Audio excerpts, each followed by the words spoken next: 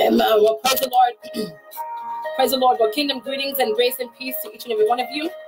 With love from God our Father, our Lord and Savior Jesus Christ. This is Prophetess Dihima McLean here with Kingdom Global Impact Network, whereby we preach and teach an unadulterated, infallible word of God, legislating God's kingdom right here on earth. I'm truly elated and ecstatic to be on this broadcasting today. I thank God for all his grace and his mercy, amen, and all his benefits towards us. For those of you who are just coming in, please go ahead and represent your city and your state. Amen. I'm truly honored and elated to uh, see you all on here uh, today. So I thank God for every one of you. Thank God for your life. Amen. Truly, you all are truly amazing. Amen. To God be the glory. Hallelujah. To God be the glory. Amen. Tonight, I'm going to be talking about a very interesting topic. So while you're on here, I'm asking you guys if you can go ahead and like and share. I'm to go ahead and do the same on my end. Amen. As you guys are tuning in, I'm to go ahead and uh, uh, just invite a few people to this broadcasting as well. All right, so just give me some time here. I do apologize for um, the delay. I do see none other than uh, Prophetess Ina Okun. God bless you. Thank you so much for joining me, woman of God. God bless you. Truly, always a pleasure and an honor to have you on here. I appreciate you from the bottom of my heart. I really do. I do see um uh, Andres, Andres, um, man of God, great to have you on here. I also see none other than my cousin Susan Henry. Thank you for tuning in. Amen. God bless every single one of you. You all are truly a tremendous blessing, and I appreciate every single one of you. Amen. I do see my cousin all the way. Amen. I see my cousin Isaiah, mentor, man of God. Thank you for joining me. I love you. Amen. It's always truly a pleasure to uh, have you on here. I love what you're doing. Continue to um, be an inspiration to people through your music. Amen. I see also my wonderful, lovely sister that I'm planning to get on here one day. Amen. My sister Aquila McLean, always so supportive. She's also a preacher herself. Amen. If you think I have revelation, she has a lot of revelation. I'm telling you. So I'm trying to drag her on here one day. Amen. Until she's comfortable. I do also see none other than uh, this awesome woman of God, Debbie. Amen. God bless you all the way from Arizona. I love you. Thank you for tuning in. I greatly appreciate you all the love and the support. Amen. For always uh, being here on the broadcasting. I appreciate uh, the consistency, the love. As many of you know, I'm on here every Thursdays at 9 p.m. Eastern Standard Time. Amen. I'm also on, on YouTube under the name Prophetess Dihima McLean. You can also find me on uh, on Dihima McLean Ministries here on Facebook. You can also follow me on Clubhouse as well. Uh, you can also follow me on Instagram under the name Dihima McLean. So those are different ways you can get connected. And also, as you can see there on the um on the uh the screen there, you can see the website. Amen. I also see none other than Bishop Christopher Monin in the house. God bless you. Men of God, if any of you have any testimonies, please feel free to share. Amen. Tonight I'm going to be talking about the lion and the lamb. Now, um, this may be a part two because I did not get into as much study as I wanted to because I wanted to kind of really um, dig into this. So I'm just gonna kind of um, take it on surface um, tonight. But I want to talk to you about the lion and the lamb. So I do pray that this teaching will bless you. Also, I'm going to be spending um, a great bit of time in praying for some people tonight. Amen. As I was led to uh, so many people today had asked me for prayer. So I think I'm going to kind of uh, go also in that direction. But I want to talk to you tonight about the lion and the lamb. And I do believe that this message is to uh, bless you tremendously. I also see none other than Chrissy Lynn in the house. God bless you. Thank you for joining me, woman of God. I always appreciate you. Um, the love, the support. Uh, you have always been a tremendous, tremendous blessing uh, to my life. So I thank God for you as well.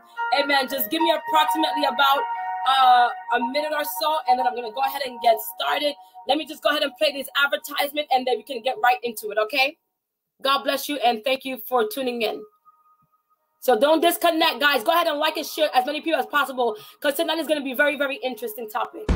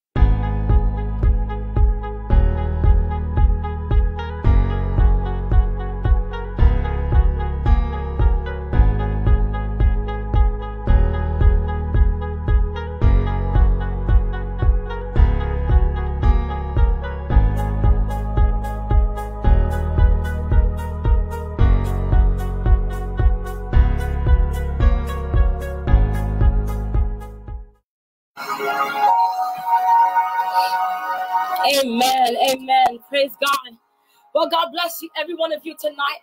As I shared tonight, I'm going to be talking to you about uh, the topic entitled The Lion and the Lamb. So, tonight, guys, it is going to be very, very interesting and impactful. Let's go ahead and open up in prayer. So, Father God, in the mighty name of Jesus, tonight, God, we give you all the praise, we give you all the glory and we give you all the honor. Tonight, God, we just want to thank you. Oh, God, for we say that this is the day that you have made. We will rejoice and be glad in it. God, we thank you, oh God, for all your benefits towards us. God, we thank you, oh God, hallelujah, for you are worthy of all the praise. You are worthy of all the glory. Tonight, God, we decree you, God, hallelujah. Tonight, we say that you are Adonai, you are Elohim, you are the mighty God, you are Jehovah Jabor, you are Jehovah Jireh, you are Jehovah Makadesh. God, you are the mighty man of war. God, we thank you. We say that you are the lion and the lamb. You are the Alpha, the Omega, the beginning and the end. You are the good shepherd. You are the door. You are the truth, God. You are the Bashande. God, we say tonight, God, that you are the God of Abraham, Isaac, and Jacob. And tonight, God, we just want to glorify you. God, we pray tonight, hallelujah, that as we are here in your presence, uh, oh God, to break bread and to fellowship, that God, tonight, uh, that the people will begin to receive, uh, oh God, a supernatural supernatural fresh touch uh, and impartation and activation. I thank you, oh God, tonight uh, that God, as they are here to receive the word, uh, that you will begin to take the word uh, and recalibrate the climate of their lives. Uh, I decree and declare tonight that their lives will never be the same. I pray, oh God, for your transformative power, oh God, to be released in their lives. I thank you, oh God, that you're opening up the windows of heaven and that you are causing it to rain. I thank you tonight, God, hallelujah, for a supernatural outpouring, a supernatural move of God, a supernatural mobilization, a supernatural touch, a supernatural wind tonight, God. We are believing you for the supernatural, oh God, tonight. And I thank you, oh God, Hallelujah, that you are remembering these your people. I thank you, oh God, that as they are here, oh God, to receive, uh, let there be a fresh wind uh, and a fresh fire and a fresh anointing. We understand yes, yesterday's anointing that it cannot do for today. Uh, and Lord God, we ask, oh God, that you will touch us afresh. Yes, God, I pray, oh God, that you are burned on the inside of us. Yes, God, I pray tonight, God,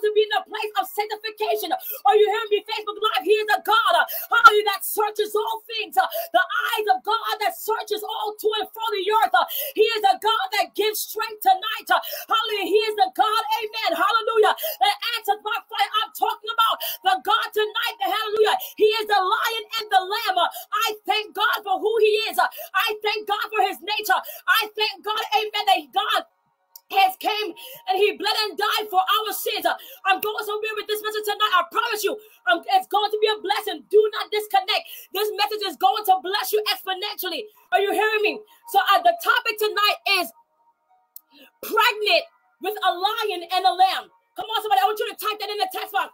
Pregnant with a lion and a lamb.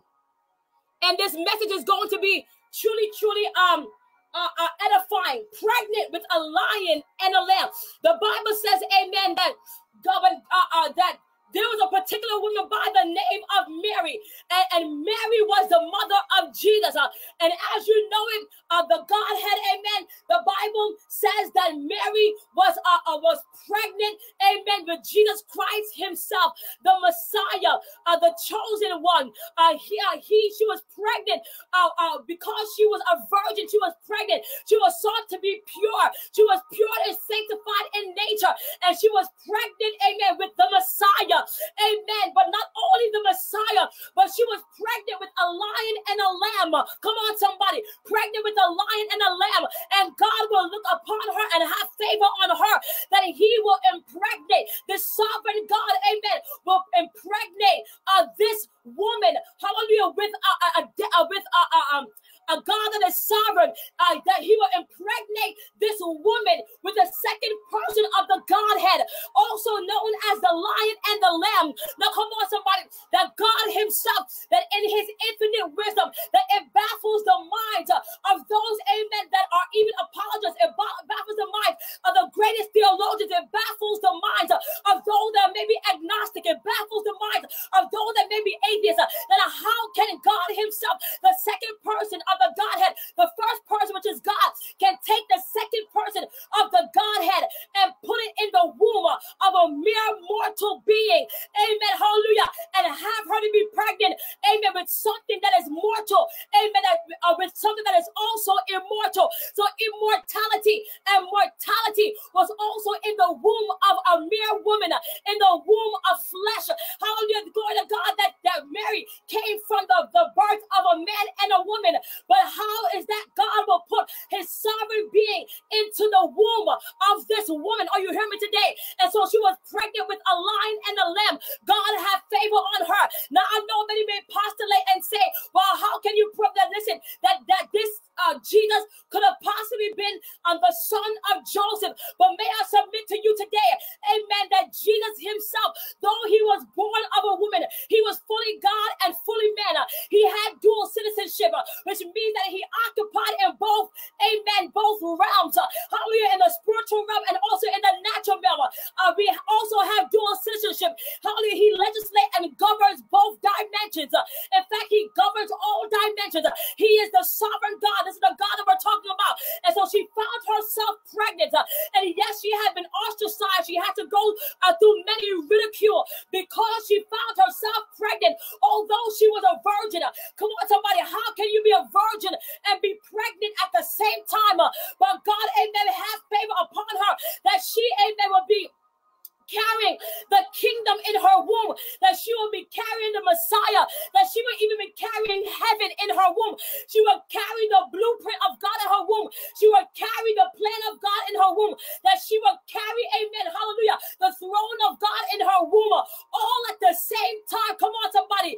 Are you hearing me tonight? And so she was pregnant with the lion and the lamb. But I want to go back a little bit further. I want to talk to you about uh, tonight about how how, amen, before Mary became impregnated uh, with a lion and a lamb, amen, the Bible says that when God created the heaven and earth, amen, he created us to live in a multi-dimensional universe. And the universe consists of realm the spiritual realm as well as the, the physical realm. So we live in a multi uh, dimensional uh, universe. And the physical realm uh, uh, is, is three-dimensional. It consists of the earth the sea and the sky. But you know that in the beginning uh, god began to separate the firmament from the earth and all that good stuff.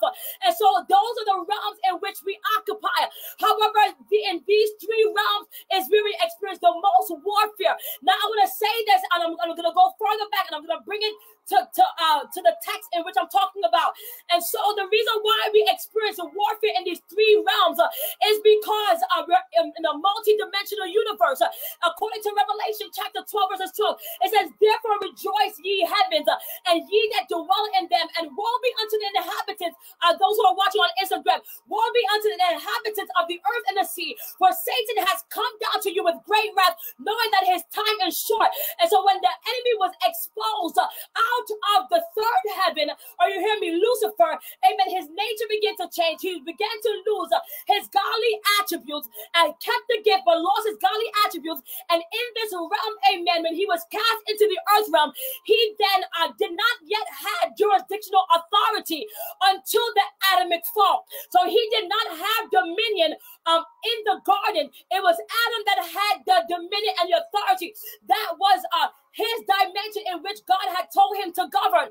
And so he did not have jurisdictional authority yet until the Adamic fall.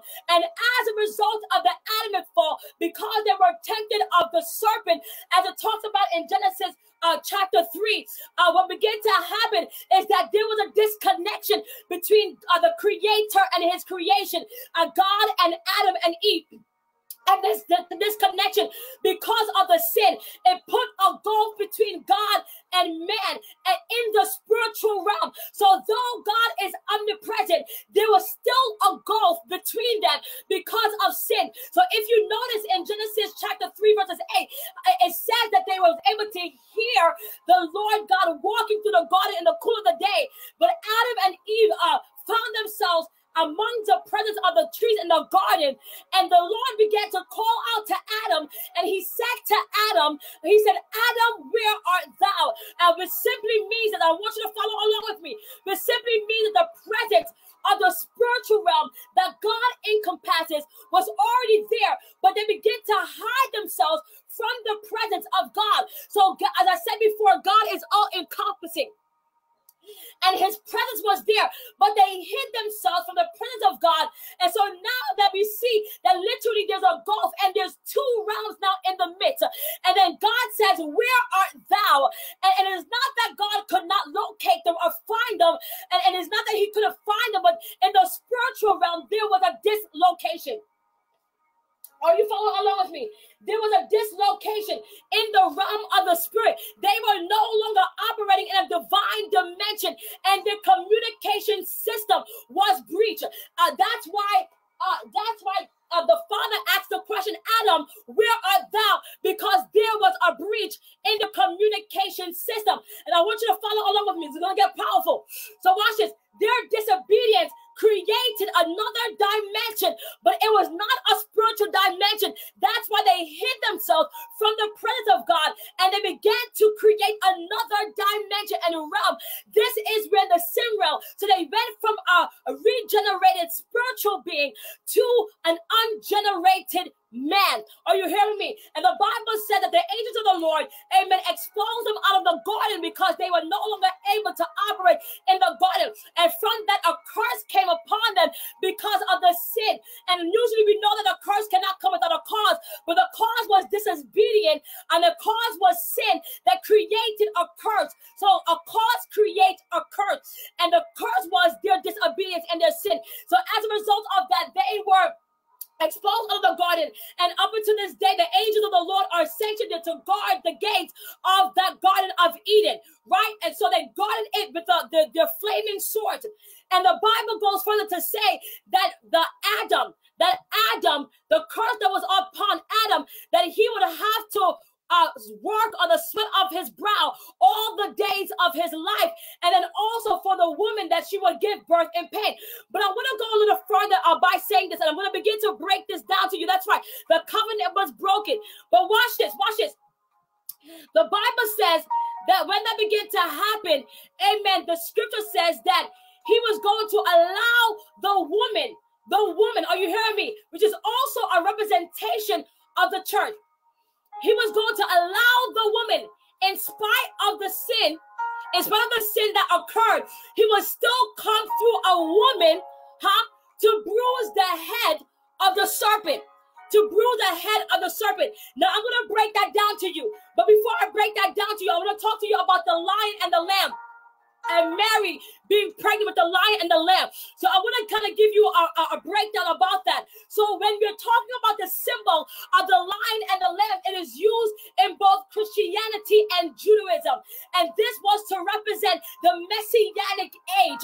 And when we're talking about the messianic age in Christianity, we're talking about um of the Christ resur- of being Christ resurrected. This is talking about the messianic age, the future period of where there's going to be uh, uh, God's universal reign and peace uh, that He will bring. You'll also find this in Christianity, and you'll also find this in Judaism.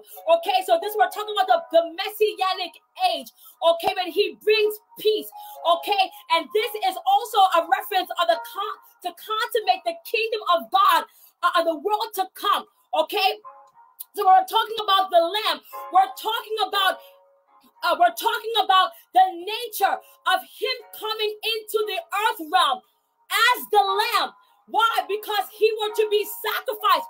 And you go back into the Old Testament. The Old Testament says that the priest had to offer up sacrifices why? For the remission of the sin of the people, right? And so we had to do all this stuff, and they had to offer up sacrifices, and the priests will have to constantly go in into the temple to offer up these sacrifices, and even they themselves had to be consecrated, and they had to put bells, and they had to go through all this religious ritualistic and traditional stuff uh, uh, to offer up these sacrifices, the blood sacrifices for the people's sin.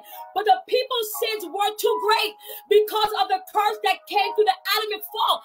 So can you imagine how much sacrifices that had to constantly be made and the curse, amen, that would have been a, a stigma on them, the curse that would not have been removed just by a mere animal. So the Bible goes further to say that he had to send the Passover, the lamb, which is the Lamb of God that took away the sins of the world. And the Bible says that he became, amen, the propitiation for of our sins. And in Romans chapter 5, it simply says that uh, he, amen, died for the remission of our sin, but he came Amen. He died uh, once and for all. Let me go ahead and go to that text here. Let me just kind of look for the text because I want to make sure I'm quoting it correct, correctly. Okay, I want to make sure I'm quoting it correctly. And so we know him to be, we know him to be uh, that Passover lamb. Okay, the one that took away all the sins of the world. And I thanks be to God that he did. Thanks be to God that he did. Right? Because uh, uh we know that if we had been not amen, um, had the sacrifice of Jesus, what will begin to happen is simply that we will have to constantly going through all this. So the Bible says like this: it says, watch this. It says uh, here in the text in Romans chapter 5, it says, But God demonstrated for his own love for us, and while we are yet sinners, Christ died for us. Since we have now been justified by his blood, how much more by we be saved through his wrath, right? And I'm gonna go further to say, he says, For for if we were God's enemy, we were reconciled to him through the death of his son, much more. Having been reconciled, shall we be saved from his life? Okay,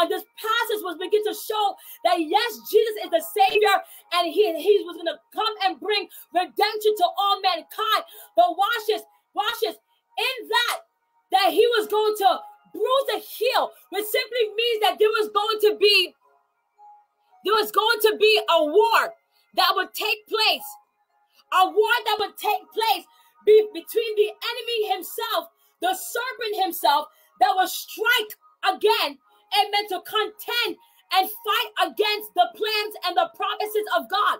Okay, so the scripture clearly reveals that he was going to come and begin to fight and contend against the Messiah himself. And so, watch this. I'm going to even go into the text. I'm going to break this down to you. I'm going to go into Matthew chapter 4 and, and talk about the temptation that Jesus uh, had faced.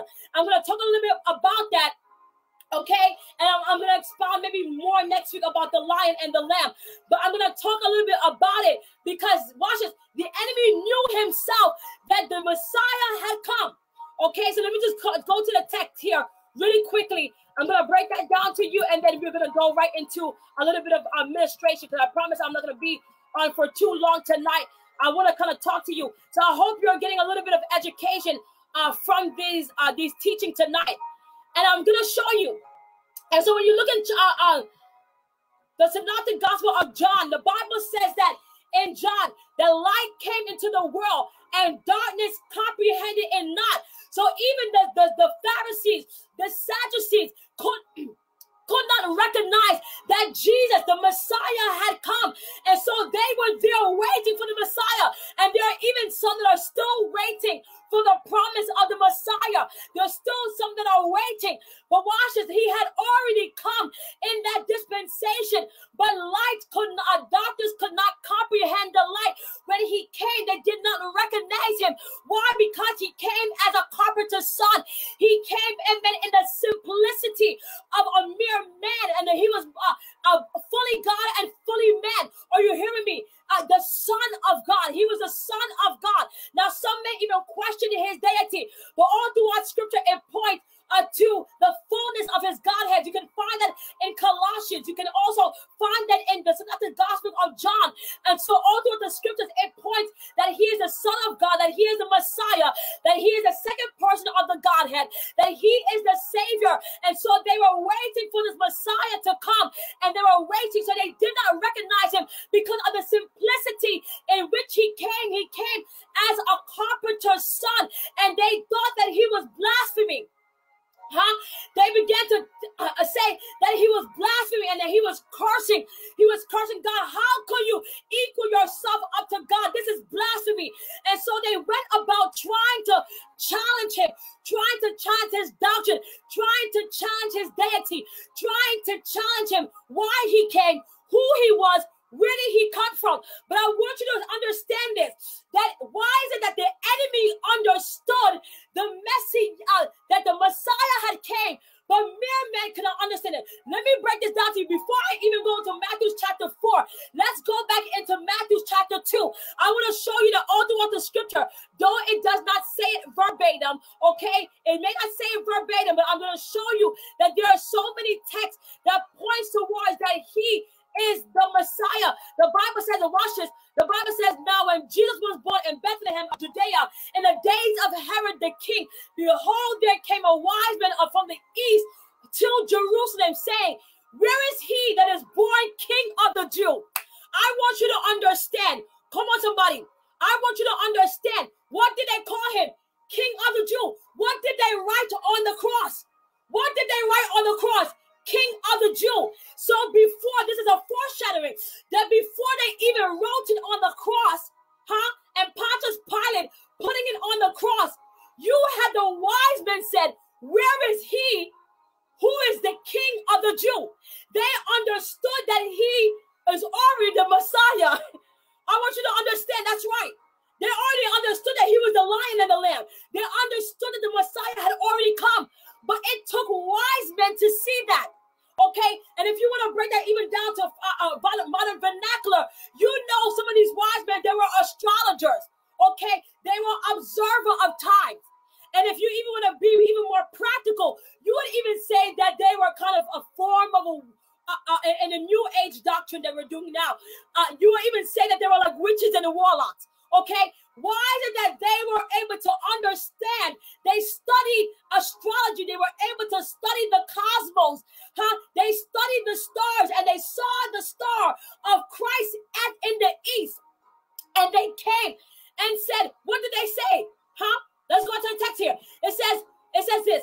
Where is he that is born king of the Jew? Foreshadowing, even before they wrote it on the cross.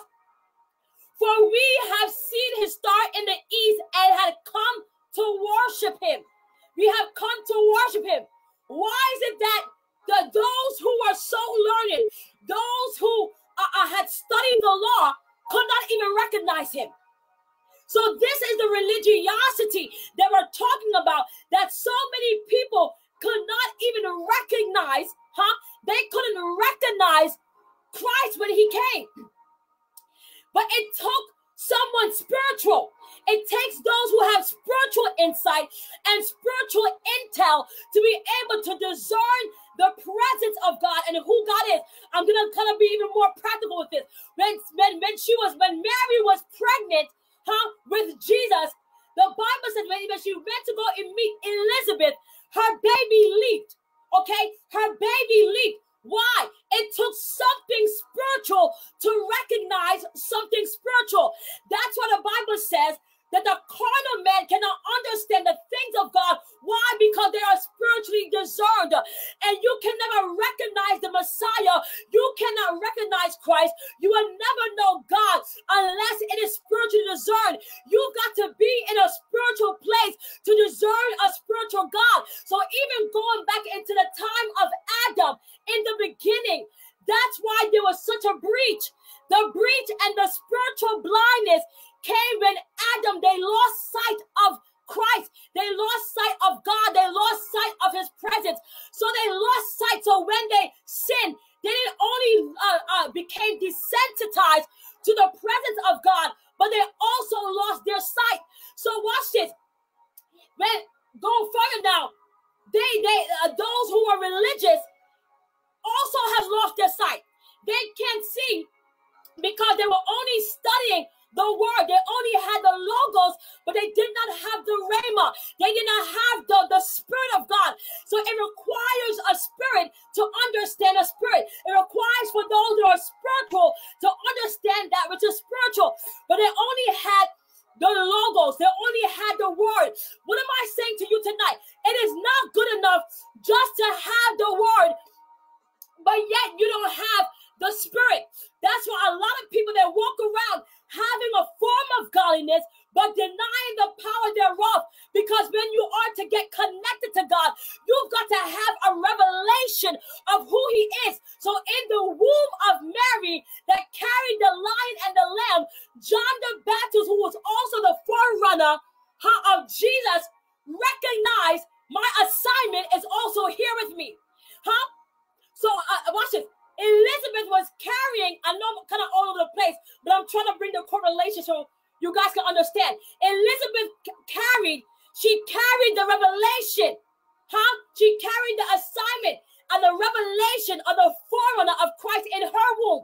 So that's why her baby leap, when they saw a, a, a Mary why? Because revelation recognize revelation, spirit recognize spirit. So if you only carry the word of God, you will never understand the spirit of God. Because it's not good uh, enough just to have the word. There are many people that are learned. What did Apostle Paul says? I did not come to you with articulation of speech. I didn't come to you with just a, a, a eloquency of speech, but I come to you with demonstration of power. And that's the rhema uh, uh, that's the rhema, the spirit of God. That's what makes the difference. That's what enabled them. That's what gave them power. Hallelujah. The power of God was in the Messiah. That's why he said, I did not come to abolish the law. The law is great. That is the standard of God. Yes, we need the word of God, but I've come to fulfill it. The spirit of Christ has come, the spirit of Christ, the spirit of prophecy has come to fulfill the law so that it will that a prophecy and a fulfillment and the fullness of the gospel can come into full terms. But that could not happen. The law could not be fulfilled without Christ. So they could not recognize the fulfillment when it came. But it took something spiritual to recognize it. What am I saying to you today? Even in modern time. It is not good enough just to have the word. Many people go to seminary, or our overseer will say cemetery. You'll go to seminary, and those things are great. It's good to have theological background. Believe me, I've been following my friends who are just like brilliant in their mind, you know, um, and I've been learning and gleaning from them. These things are great, but what good is it without what good is it without the Spirit of God? Huh? And so I'm gonna kind of um, um uh, fast forward here And so now the Bible says in Matthew chapter 2, they did recognize it. They recognize it. Watch this.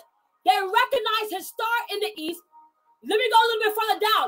When Herod heard the king had heard these things, he was troubled and all Jerusalem with him.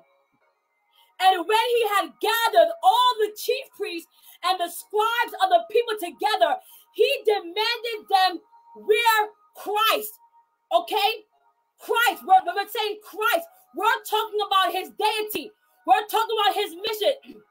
Christ, the mission. We're talking about his whole personage that he came as a savior, should be born.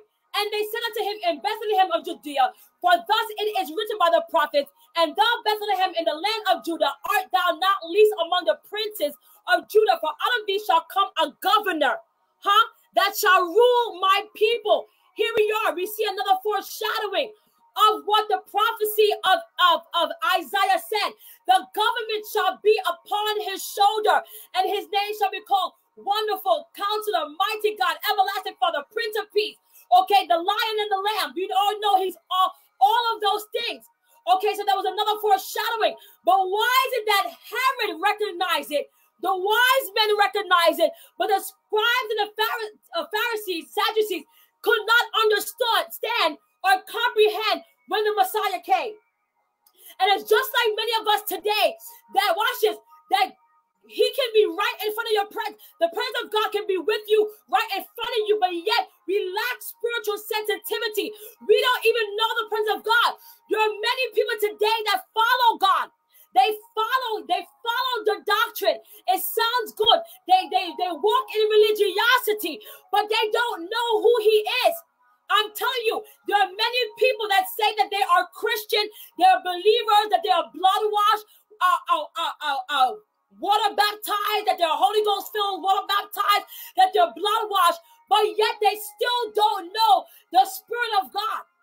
That's why even going back into the text, that's why even Jesus had asked uh, um, uh, Peter, okay, Cephas himself, he said to him, Who do men say that I am? Huh? Who do men say that I am? And then watch this. He began to he began to lay it out. Some say you are uh, some say you are a prophet. See, they spoke about their own human intellect, their understanding of him, uh, how they rationalize him, how they can logically perceive him. Some say you are a prophet, some say you're Elias, but then he made it personal. So he began to make it personal. He said, I want to see if you got the revelation because there are many people that follow me, many people that are looking for a Messiah, but you follow me for all the wrong reasons. You follow me because you're great your, your forefathers done it. You follow me because you want to be a part of a religious organization. You follow me because you believe this is your belief. You follow me because of something that I did good for you. You follow me because of the fish and loaves, but now I need to make it personal. Who do you say that I am? Huh? So he uh, proposition him. Who do you say that I am? Hey, God bless you. I see a uh, uh, man of God on here. Amen. Who do you say that I am? And then he got the revelation. He says, Thou art the Christ. Watch this. Huh? He didn't just say, Thou art Jesus. He says, Thou art the Christ. Okay? The Christ. Check that off. The Christ. It spoke about him being the Messiah, the lion and the lamb. The, the Christ. Watch this. He went further to say, the Son of the living God. Not just a son, but the Son of the living God, which also means that he got the revelation that he is the second person of the Godhead.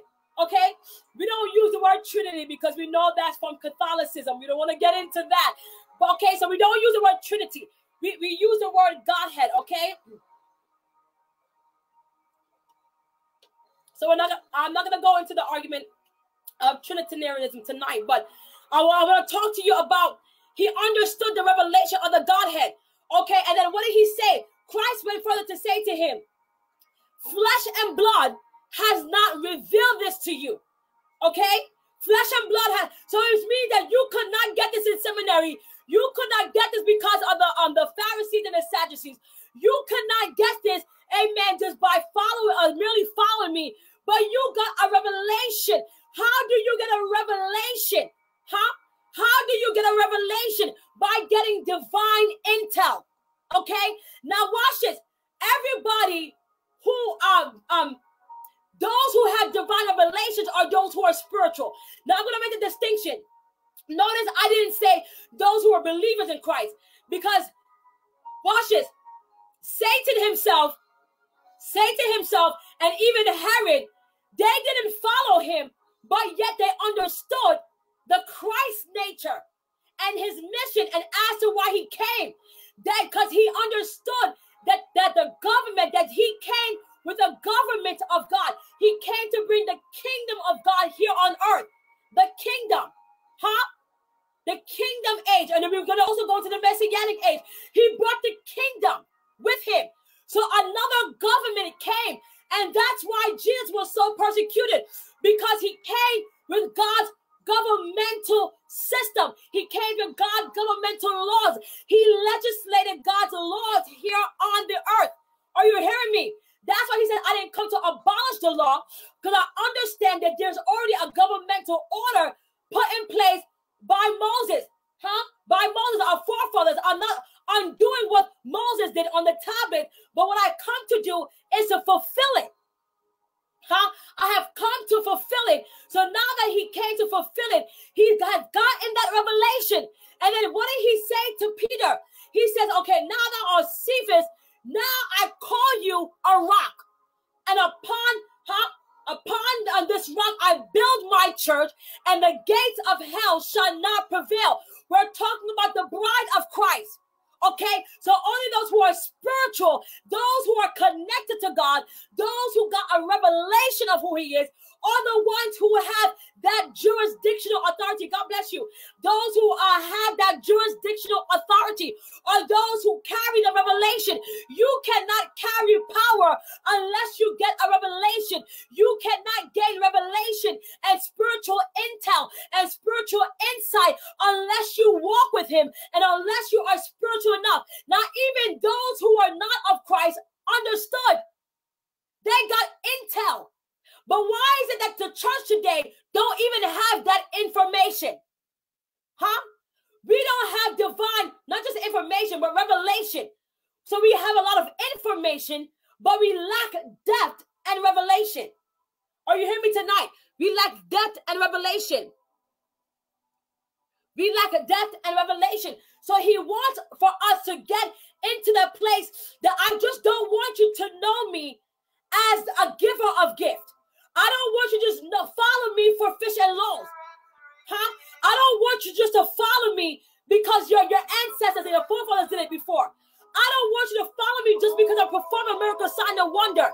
If you notice all throughout the scripture, those that who are able to access him were those who received revelation. Receive revelation. And in order for you to receive that revelation, you've got to be spiritual. You've got to be in a place of spiritual incubation to gain that that that understanding, that deposit. Huh? Let, let's let's go rewind. Okay, I'm gonna jump in. I'm jumping back and forth into text. I know a lot of people probably don't like that. Okay, I'm trying to be like a, a, a textually integral, but I'm just trying to kind of give you the correlation of what I'm talking about. So you'll see me jumping from Old Testament to New Testament. I'm trying to make a parallel and an understanding. Okay. I, am trying to follow my big brothers who like, okay, then we do all the extra stuff. but I'm trying to um, I'm trying to work this out. Let me try to break it down to you. So that's why again, Adam, Adam, he Adam lost that information. He lost the revelation of God. How did he lose revelation? By gaining information from Satan himself, the deceiver, the deceiver, the deceiver. So when Christ came, Christ came back as a, a, a revealer. He came back as the epitome of revelation to remind us to I have I have friends that are theologians, so y'all beat me up if I mess up. so it, it, it's teaching me to be a little bit more calculated when I speak. Okay, so um, and so so I, I want you to understand tonight. I want you to understand tonight that um that what he did is that I, I, I came for you to regain your senses, regain the revelation of who I am. Regain the revelation. You've lost your recollection. My friend is laughing. You lost your insight. You lost your recollection. You lost it. Okay, I, am trying to be calculated because my friends be watching. so I, I want to say that. So he came to remind us of who we are in him, how who we are in him. So when he said to Peter, "You got the revelation," which means that you were able to tap into the frequency of heaven. You you came back into the understanding of who I am. I hope you I hope you're catching this, and I pray that this teaching is helping you tonight. You understand who I am. Okay? It is not good enough just to say I go to church. It is not good enough just to say I read the Bible. It is not good enough to have perfect church attendance. It is not good enough just to say, oh, well, I go to church. Listen, you've got to have a revelation. A revelation, that's right. It only comes by seeking the deeper things of God. Deep calling unto deep. Okay, deep call unto deep. Deep call unto deep. You can only gain revelation by being in the presence. That's why Adam lost the connection. He was no longer in the presence. So the Bible said that he began to put figs on himself. He began to put figs on himself. Why? Because he, Adam tried to fabricate a presence that to compensate for the presence that he lost. I'm going to say that again. So when Adam put the fig leaves upon himself, he understood that he was naked. So that that's when God said to him, "Who told you you were naked? Who told you that you no longer had my presence? Who told you that my presence no longer covered you?" This is so good. So he began to put a fix upon himself as a fabricated, manufactured type of, of, of, of covering. And that's what many of us do today. We have lost the presence of God through sin, through disobedience. So what we begin to do, we fabricate a false presence and we call it God. And so I believe, my theory now, I believe that even in that, that was a birthing of a false doctrine. Hear me. Even what in the gesture, in the gesture in which Adam did by putting the leaves the figs on himself, that was a that was the beginning, huh? That was the beginning of a false doctrine as well. Okay, so false doctrine also came through the mouth of Satan, huh, himself. That's why you know my big brothers always say, you know, doctrine, doctrine, doctrine. It makes so much sense because he, the Father, and the presence of God never deviated away from his doctrine. We even see doctrine in the Bible, in the Bible, in the beginning. In the beginning, he said, You should do this, but you should not do that. Don't eat from the tree of the knowledge of good and evil. What was he trying to tell Adam? He was trying to tell Adam, do not take on a different doctrine. Don't receive knowledge that is contrary to what I spoke to you. Huh? But when Satan came, he gave them a similar doctrine that was that sounded like God, but it wasn't God. So false doctrine can make you lose revelation. False doctrine can pull you out of the presence of God. False doctrine can make you heretical. Huh? It can cause you to be uh, heretical. Okay? So what began to happen that took him out of the presence. So what is, the, what is the point I'm trying to make? I'm trying to say to you, it is not good enough just to have the logos, but you've got to have the rhema, the presence, the spirit of God. Because it is the spirit of God that brings enlightenment to the letter. That's why the apostle Paul says, okay, yes, the doctrine is good, but the letter kill it after a while. You need the both of them. You need the letter and the rhema. It goes together. Both should be in covenant one with another. The, the, the logos and the rhema. Because with, without the rhema, what happens is that the letter, it kills you. Because we can't fulfill it. We can, I know I, I sure can't fulfill it. I, you know, all of us, we, none of us can fulfill it. I know I can't fulfill it because he will fulfill. I, am telling you, I'll mess up. I can't. I can't even keep. I can't remember my own date of birth much more. for me to be remember all these laws, who got time for all of that? I can't remember all her all 600 and something plus laws. Nobody can keep that. They're imperfect being. Okay, so you know it behooves me when I hear people say, "Oh, you know, uh, uh, we don't need Christ. We just need this. We just need the word." Or sometimes when you hear the Israelites talking, they, they, "Oh, we don't need all that," and and and Christ didn't do all this, and you know, it, it, it's it's heretical. It really is because we cannot fulfill it on our own self. Can you imagine trying to keep all the laws? That's too much work. That's too much work. I'm telling you, I would have I would have given up a long time ago. But what did he do? He came as the lamb, the sacrificial lamb. Okay? To fulfill that. He fulfilled that. All right? So I want you to understand that we cannot accomplish righteousness or justification or sanctification in our own human effort. It's impossible. It's impossible. and so, so the Bible says, watch this. The Bible says that so he came, he came. And let me go further here. I, I said I was going to um go to Matthew chapter 4. And I'm sorry for jumping all over the place like this. So I'm just bringing parallels, okay? Or, or if you want to call them cross references, we'll even say that, okay? Just to make sure it sounds right. Uh, cross references, okay? Um, to make sense of it. So we go here also in uh, Matthew chapter 4, and I'm going to conclude shortly because I want to start to pray for some of you.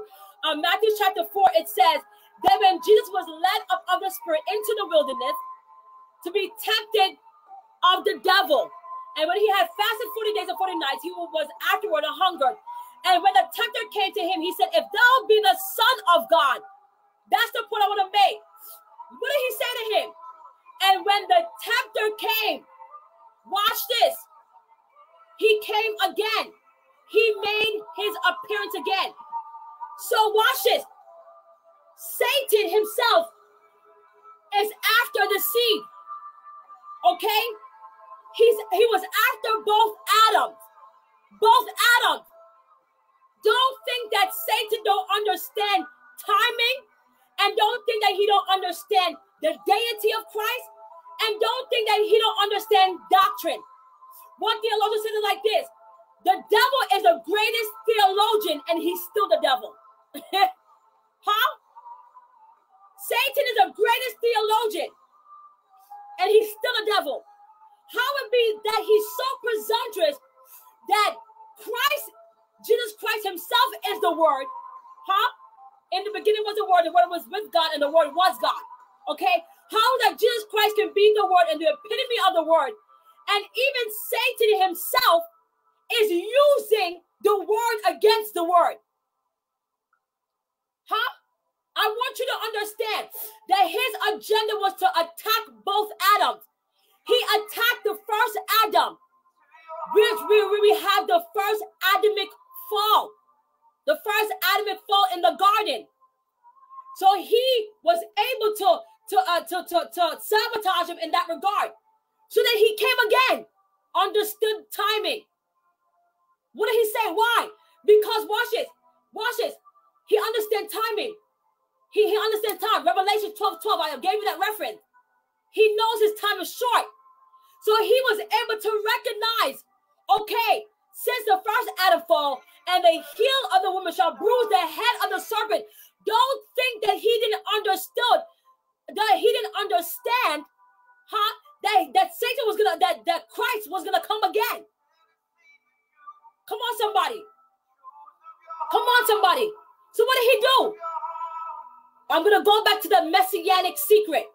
Okay, so we, we talked about how it was revealed in Genesis. Okay, how it was revealed in Genesis that they, that they believe is called the first gospel. Okay, but now here it is. Satan challenges him and said, "Okay, if you be the son of God, what, what, what was that? What was that? Talking about his messianic nature. Huh? If you be the son of God, do that. Now I want you to perform a miracle. What was he trying to do? When he said that to him, his agenda was for him. I'm telling you how Satan is so strategic.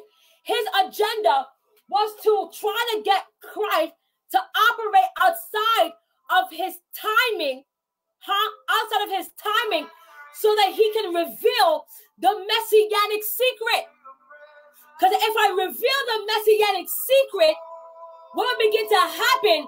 He will not be successful and efficient in going to the cross. So even Satan himself understood that his government was about to be interrupted and the gates of hell was about to be shaken. That's why he said he made an open shame of the devil. His government was in danger. This world belongs to him. How do I know that?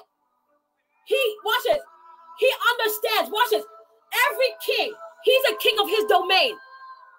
Jesus is the king. That's why even when Pontius Pilate said to Jesus, Ah, oh, but if you're the king, well, where's your kingdom?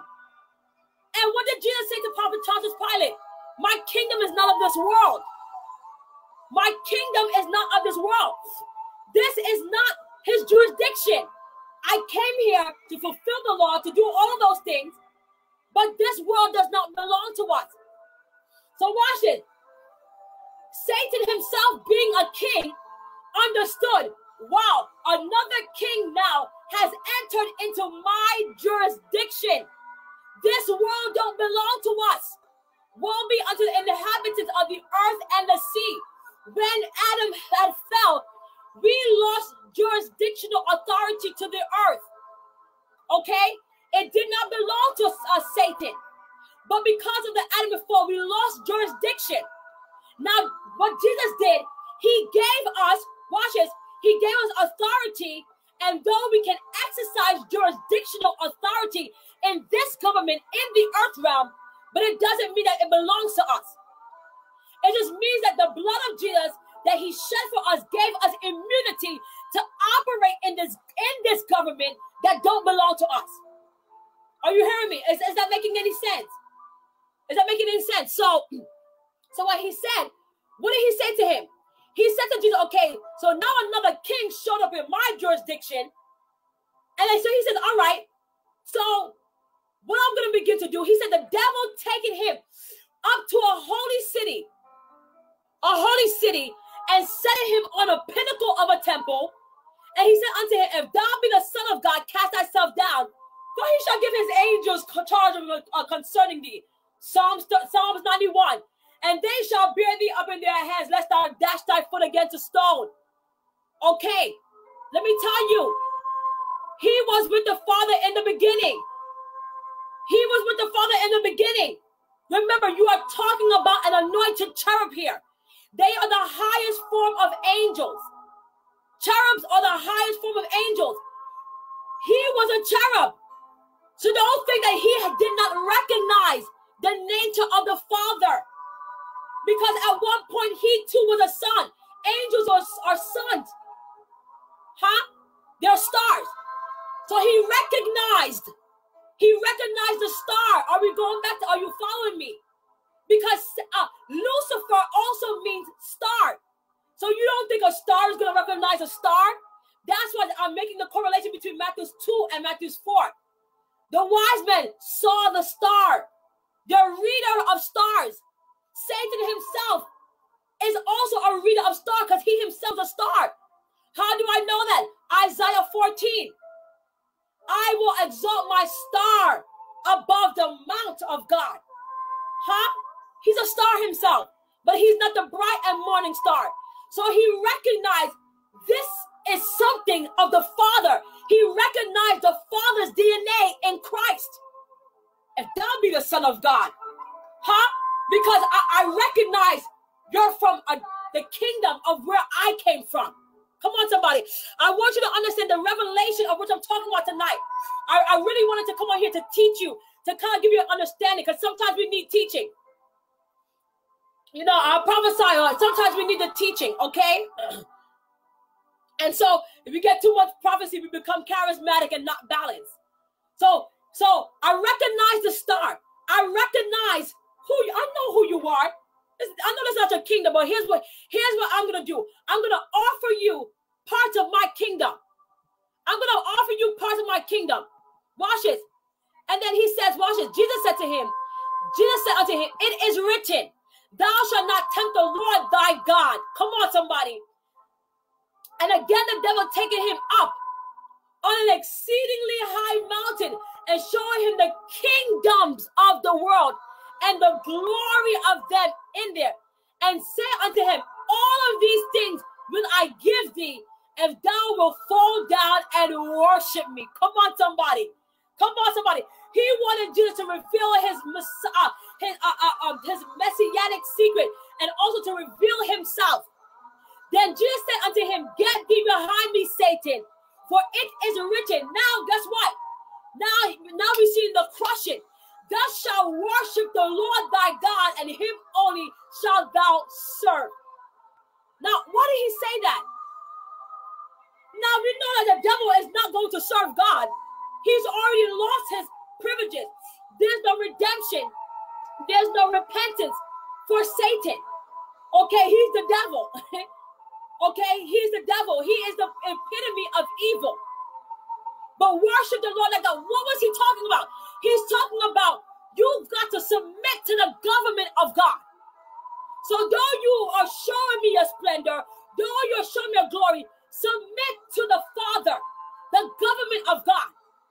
Huh? You got to submit to my assignment. I've come to fulfill my assignment. That was the mission, and he used the word. So when he began to tell him the word, he says, It is written. So you've got to understand that, that he began to use the word. He began to use the word.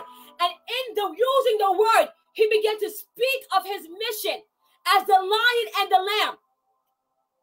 The lion and the lamb, meaning I came as a sacrificial lamb. You're gonna bruise my my heel, the heel of the woman, but I came as a sacrificial lamb because Satan himself saw that this one is going to be the sacrificial Passover lamb for our sins once and for all. Huh? So that way, why now I'm going to regain authority for them. I'm going to overrule and override your government, your system, your laws, so that I can give them back the authority that they once had. And he also come as the lamb, as the resurrected Christ. Okay? So not only did he die as a lamb, but he also resurrected as a lion, and he's also going to come back as a lion, the one that comes to judge. Okay? Are you hearing me tonight? the one that comes to judge. So what is the point I'm making? I'm gonna try to make this a part two. So, guys, if this, if you have received this, let me know if this has blessed you. I want to start to minister to many of you tonight. Okay, I want to go ahead and minister to many of you tonight. What am I saying to you? Why am I bringing this up? There are too many of us, amen, that don't recognize Christ in his fullness, that don't recognize Christ in his fullness. It is not enough just to carry around and wear figs. It is not enough to say that, okay, I'm going to fabricate a gospel because the devil is going to challenge you. Huh? He's going to challenge you now that the Holy Spirit has come. The, uh, Jesus Christ went away. It is expedient that it go away. Now that the Comforter has come, He's also going to challenge the Comforter in you. So we are almost, we are like small gods in the earth realm. So if He challenged Jesus Christ Himself, and the third person of the Godhead is in us, why do you think he's not going to come back again? So Satan always make his appearances, always make his appearances whenever he sees something or someone interrupting his government and his system. So because you have the third person of the Holy Spirit inside of you, you are still a threat to his kingdom. So although Jesus died, bled, died, came as a lamb, uh, also as a lion. He understands. Guess what? They still carry the DNA. So now we are all images of Adam, offsprings of Adam, offsprings of the sons of God in the earth realm. So we, what Christ did is that he allowed his spirit to multiply in all of us. So the fact that he, the spirit is in all of us means that we should have a greater impact. So it behooves me to know Why is it that we aren't making a greater impact if the Holy Ghost lives on the inside of all of us? Because what he did, he took the third person of the Godhead and he put it in us. Watch this. So not only did he put it in the womb, in the womb of Mary, he also put the Holy Spirit in our wombs today. Come on, somebody. So now we too are pregnant with the lion and the lamb. Come on, somebody. That's why he says we are the bride of Christ. The bride of Christ is a virgin. Come on, this is so good. I want you to catch that. The bride of Christ is a virgin. Huh? So if we, if we are the bride of Christ as a virgin, that simply means that also we are like a Mary in the earth realm that carries the lion and the lamb in our womb. So he's saying again, now you're pregnant, now, now you're carrying something again inside of you. You're carrying something inside of you, and but this time it's my Holy Spirit. And not only is it in one woman, but it's in all of you. Come on, somebody. When we're talking about the bride of Christ, it is not gender specific. It simply means a man can be pregnant with the Holy Ghost. A woman can be pregnant with the Holy. We're all virgins. We're all the bride of Christ. He multiplied himself, which means that greater work shall you do. So don't think that Satan is not going to come with his challenges because you threaten his government, you threaten his system. This is still his domain. So what Christ is saying, I need you to occupy until I come.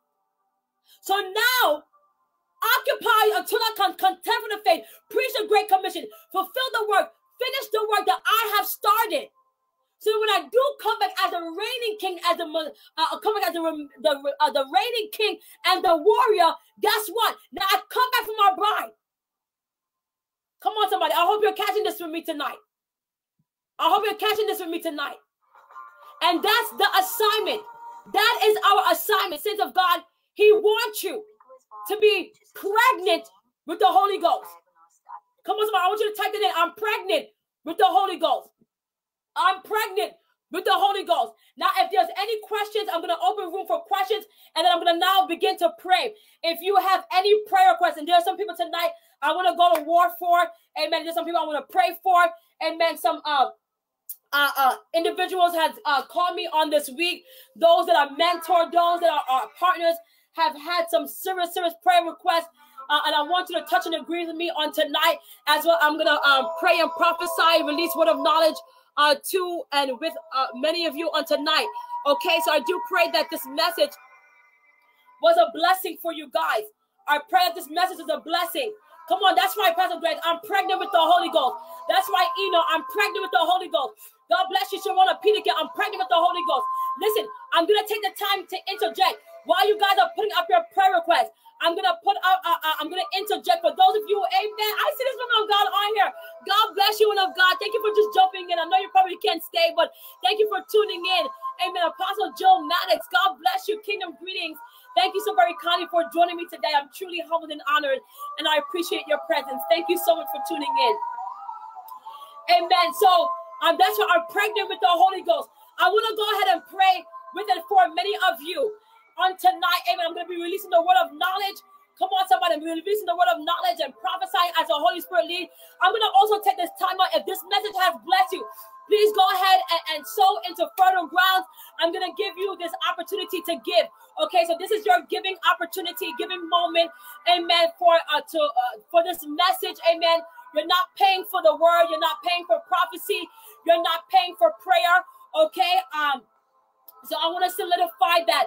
But if this message has blessed you, if you felt that this message has confirmed a few things, if you want to support this ministry, uh, please take the time out to go ahead and to to sow. And also for those who are sowing, and oftentimes say, please um, let me know that you have given, you have sown, so that way I can uh, call your name out because I'm using two different devices here. I can't see your comments apart from those who are here on the StreamYard and Facebook. Okay, and, and those who are Instagram, I can't see who are doing it personally. So you have to let me know that you have sown so that way I don't miss your name. Okay, so let me go ahead and begin to pray. And I want to begin to war. Amen. Hey, I see my brother on here. God bless you. Uh, Prophet Leandre, I love you, brother. Uh, you know, if you want to jump on, you can always, always, always welcome here. I truly appreciate you. Thank you so much for the prayer. I love you uh, greatly, and I'm also praying for you as well. Hallelujah. To God be the glory. Man of God, if you would like to jump on, just please let me know. Amen. And I, I would glad you ex- gladly accept you on here. Man of God, I can always uh, send the link and, and glad you accept you on here uh, if, if you desire, if you have the time. Uh, so just let me know. If not, I totally understand. Amen. Hallelujah. Shabre katala makaya. Lebre makaya. All right. Amen. I see Sharona Peterkin. Guys, go ahead and put up the prayer request. Amen. Uh, uh, uh, uh Prophet Leandre. Amen. I'm praying with it for you. I love you. Men of God, continue to stay encouraged. Continue, continue to hold up the blood-stained banner. Hallelujah. To God be the glory. Men of God, I am praying with it for you. I am praying also that God will strengthen you in this hour. Uh, uh, to God be the glory. All right, listen. Okay, okay. So I'm gonna um I'm gonna pray for many of you. All right, so if you have um if you're desiring prayer, please let me know. Please let me know. Okay, and I'll pray for you. I'll pray for you. Shebra talamakaya. Okay. Okay. All right. So, uh, uh, uh, Prophet Leandre, if you want to, just let me know. Say yes or not now, and then I, I, I'll, I will proceed. Okay. Just say yes or not, not now. Amen. You know when my brother is on when he comes on, I always welcome him to come on here. Amen. Because he's always a tremendous blessing. Okay. So just let me know. Uh, and in the meantime, I'm to go ahead and pray uh, uh, for these individuals. So just let me know uh, if you can type in Prophet Leandre, yes or not now, um, before I begin, because I don't want to um, start. Shabre katala makaya. Hallelujah, hallelujah. Hallelujah. Father, I thank you. Father, I give you praise tonight. Lebro talamakaya. Father, you are worthy of praise. Hallelujah. God, you are worthy of all the glory. Father, I thank you tonight, God, for these your people. God, there is none like you. There is none that is greater than you. God, we magnify your name. You are worthy of glory. Hallelujah. Father, I thank you for your precious Holy Spirit. I thank you for the blood. I thank you for your presence. I thank you for who you are, God, tonight. Lord God, we magnify you. We glorify you. We lift you up. Kapada Messiah. Lord God, I thank you, oh God. Uh, hallelujah. That you're activating every single person on the live broadcasting, that you are touching them tonight, Father. Lebra Talamakaya. Lebra Katalamakaya. Amen. I see Prophet Gray on here. Man of God, God bless you. I see my brothers joining on. Amen. Le- Leandra, if you can join me, let me know. Uh, Prophet Gray, I'm here on Facebook Live. If you'd like to join me, just go ahead and let me know. Amen. Hallelujah. Amen. I have to get you on here one day as well. All right, let me just go ahead and flow. Let me just go ahead and flow. Hallelujah. Father, I thank you tonight. Lord God, we praise you. God, we give you glory. Let me know if you have given, and I'll just go ahead and begin to call out your name. Go ahead and begin to put up those prayer requests in the mighty name of Jesus. Father God, I thank you right now, oh God, for, for Sharona Peterkin. God, in the mighty name of Jesus, God, I thank you, oh God, hallelujah, that you're covering this woman servant under the blood. I thank you, oh God, for your divine supernatural protection over your woman servant, Father. Holy Ghost, I thank you that now, God, that you are now thrusting her into another season. Yes, God. Woman of God, I hear the Lord say, I am now opening another season. There's another season of breakthrough that is coming to you, woman of God, coming to your life. Yes, woman of God, there's another a dimension that the Lord will have you to tap into. Glory be to God. The Lord says to tell you, woman of God, hallelujah, that uh, uh, as you're applying yourself and as you have applied yourself, uh, that He's now allowing for you to walk in a greater dimension, a greater place. He said this is your new season. Yes, He's even opening up supernatural doors on your behalf. A Sharona Peterkin, the Lord says to tell you, woman of God, yes, God, hallelujah, every plan, every vision that He has uh, spoken unto you in time past, the Lord says, Amen. Begin to up uh, to begin to, to activate those things that He's activating you in your prophetic destiny. There are some things that you uh, put on the back burner. There are things that you have put on the side. But the Lord says it's now time, amen, to begin to activate it. He said to tell you, of God, that this is not the time and the season of any form of distraction. For yes, the enemy will even try to send distractions your way. He will even try, amen, to send arrows and darts your way to try to throw you off course, amen, so that you cannot recognize the season and the time that you are operating in. But the Lord says begin to tell you, of God, hallelujah, that I am now realigning your life and realigning your destiny. He said to um, don't worry about the minute things, don't worry about your family. But yes, I am even taking care of those things. He said, begin to focus on me. Yes, for yeah, there are even a greater ministerial grace that is resting upon you. For yes, I even saw great distractions coming your way as I began to look at you in the realm of the spirit. And I began to look at your forehead. I saw distraction. And the enemy are, is using that as tactics and tools uh, to literally throw you off course uh, so that you that way you can begin to miss your season. But there is divine realignment. Yes, coming to your life even now, woman of God, divine realignment. And he says to remind you of the book. Don't forget your book. And the Lord says even to tell you that I am maturing your voice in this hour. I am maturing your voice in this hour. And do not concern yourself with the affairs of this world. Don't concern yourself with the affairs of those. Okay, I see my brother on here. Amen. I want him to jump on here. Man of God, I'm going to send you the link. Amen. To your inbox. Okay. So look out for it, man of God. Holy, he says, Amen. To tell you, man of God, do not get distracted for what I'm about to do in your life is literally getting ready to blow your mind. He's maturing your voice, so get ready for the overflow. Get ready for the overflow. Get ready for the overflow and anything that is trying to throw you off course. The Lord says, Amen. To that He wants you to uh, um. The Lord says He wants you to, Amen, to, to reshift your focus. Reshift your focus. Shabre patada bakulebre ansaya. Roba shebre ketelebra tataya. Lebram babadia sakata bakaya. Yes, God, have your way, have your way, have your way, have your way tonight. Father, we give you praise. Man, of God, get ready to send you the link.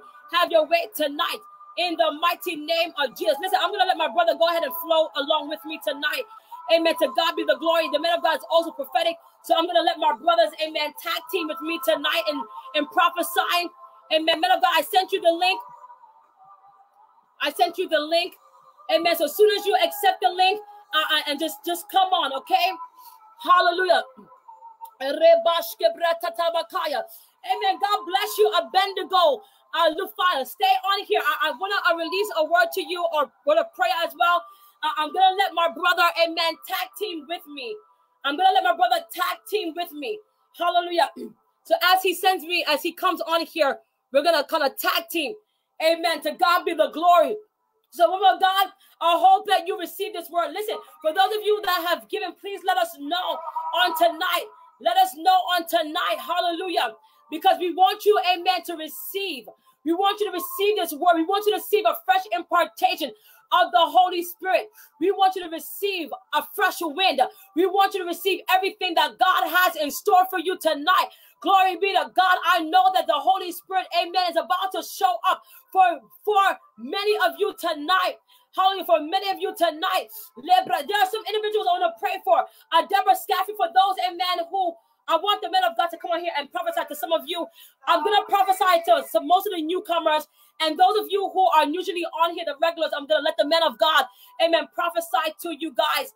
Amen. So and the reason why I also bring them on here to tag team, but I don't want that line of familiarity. So, so you not because I use some of you know me that you guys don't receive. So, Apostle Gray, let me know if you're still on here. Let me know if you're still on here. He's probably trying to uh, tune in. Sabre Katalamakaya.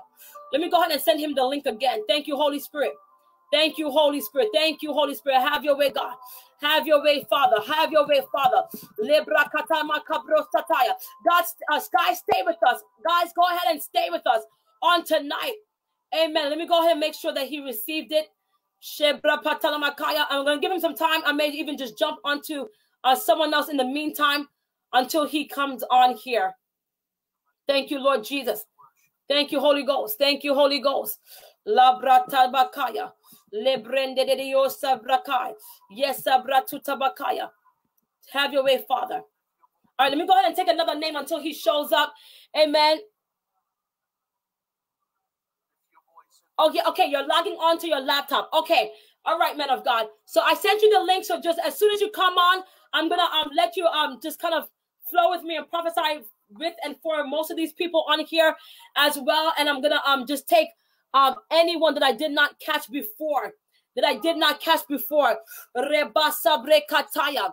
I want to pray, Marcia. Let me know if you're still on here. I want you to guys to touch and agree with me as the man of God is trying to come on here.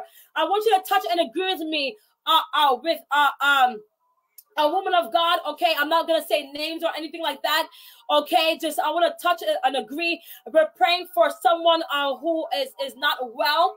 Okay, so we're gonna touch and agree. Let us begin to pray for healing. So as we're praying for healing, God. So remember, we're praying for healing tonight, and stay on here because I want the man of God to prophesy to some of you on here on this evening. Okay, I want him to tag in with me.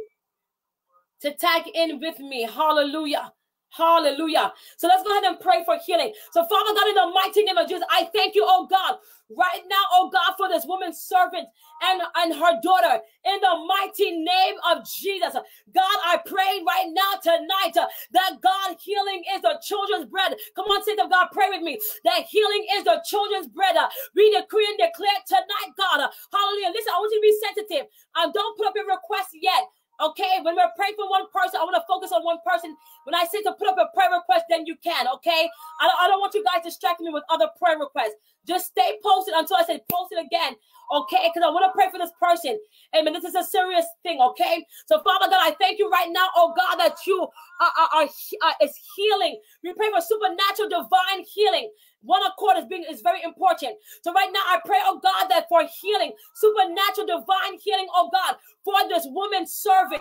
Hallelujah. I pray, oh God, that every spirit of infirmity, every spirit, hallelujah, of sickness, every spirit, oh God, that has come to eat up her flesh, that God, that she will not be, oh God, hallelujah, a victim of any demonic affliction, any demonic sickness.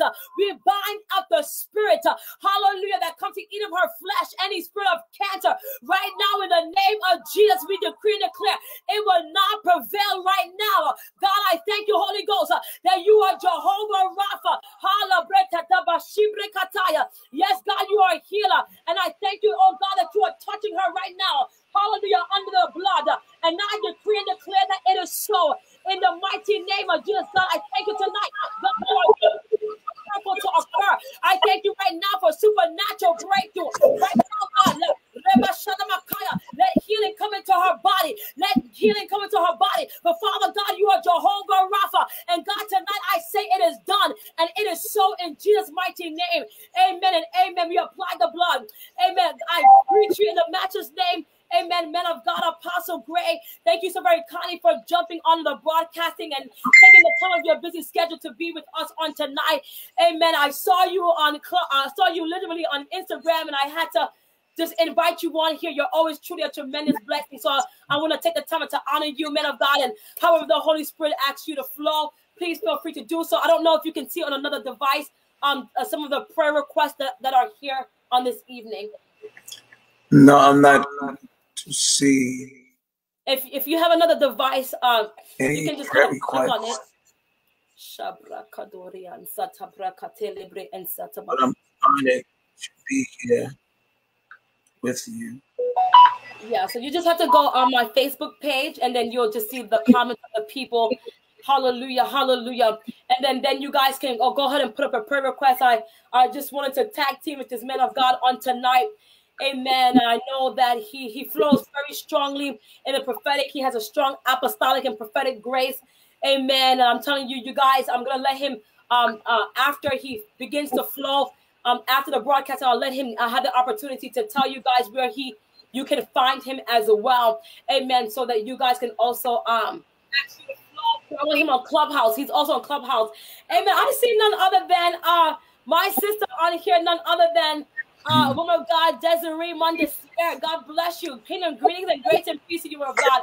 Thank you so very kindly for joining me on this. evening. Let me Marcia Marcia said her hands is uh tight. Um Marcia Okay. both hands are still cramped. Um it's okay if I pray. Yes, yes, absolutely, man of God. Father, in the name of the Lord Jesus, I thank you for your Holy Spirit. And I thank you that you made the human hands. Yes. You said you sent your word and healed her and delivered her out of all of her destruction. And the Lord says he's touching her hands now. Is it okay if, if you can't see it? Is it okay if I just give you some names? Yeah, I'm praying for the lady, um, Are, are you are you able to see Stella. it? uh, the lady with the crab hands was uh, Marcia Gossett. Okay. Yes. Yes. Yes. I'm looking on my phone. Oh, okay. Great. Okay. Marcia, the Lord is touching their hands right now. Right now. The Lord is touching the left one now. He's touching the left one. Now he's touching the right one. No, go like this. Go like this. Jehovah Rapha has healed you. Go like that. Go like that. Thank, Thank you. you, Holy Ghost. Yes, Father. Now, uh, name is Marcia Garrett. How's your how's your hands now? How's your hands now? While she's experiencing the presence and the power of God, you can call names. Okay, we have uh, Deborah Scaffey and, and Marcella Brown. Now, Marcella and Debbie, they honored you. Yes, yes, they they always do.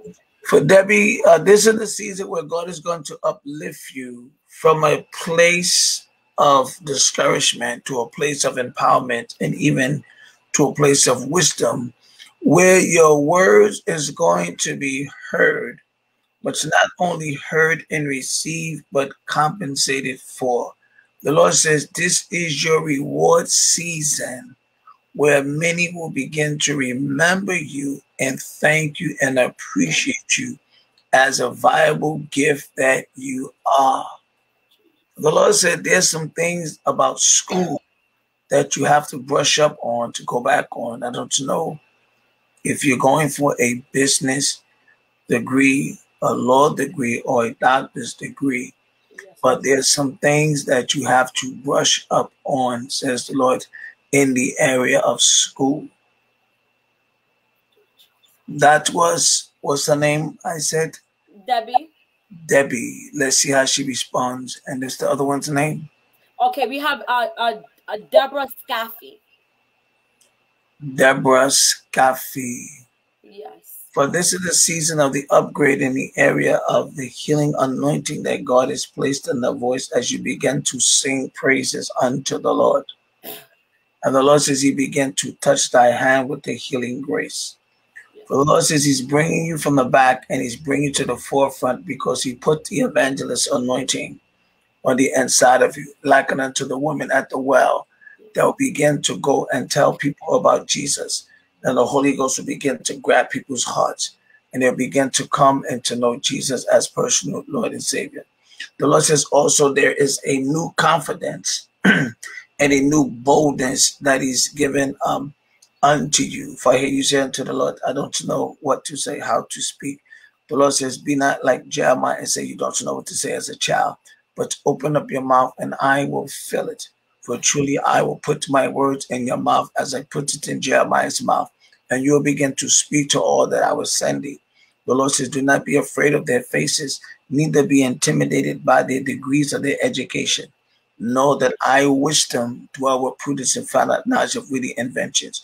For even there's a witty invention that has your name on it, says the Lord. Yes, Father, have your way, God. Have your way. Have your way. La brokata ra brakataya.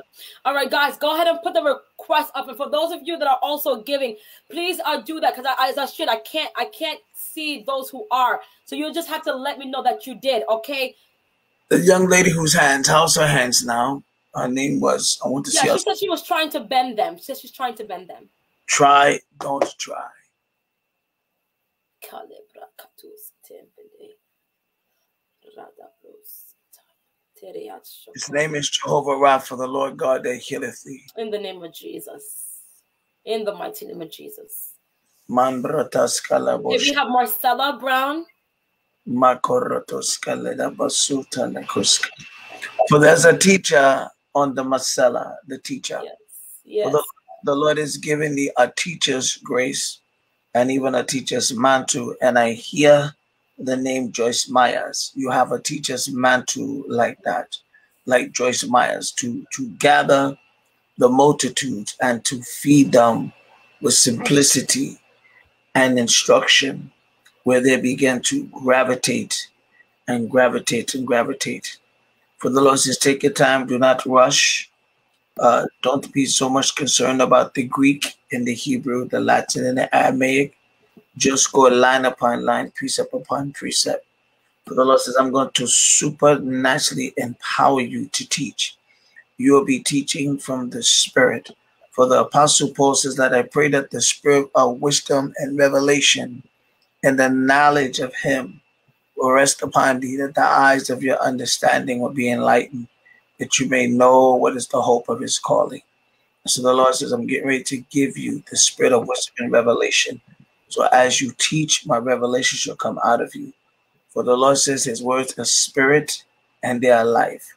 And my life and my spirit is getting ready to come out of thy mouth into the lives of many as you begin to stand up and be the teacher that I called you to be.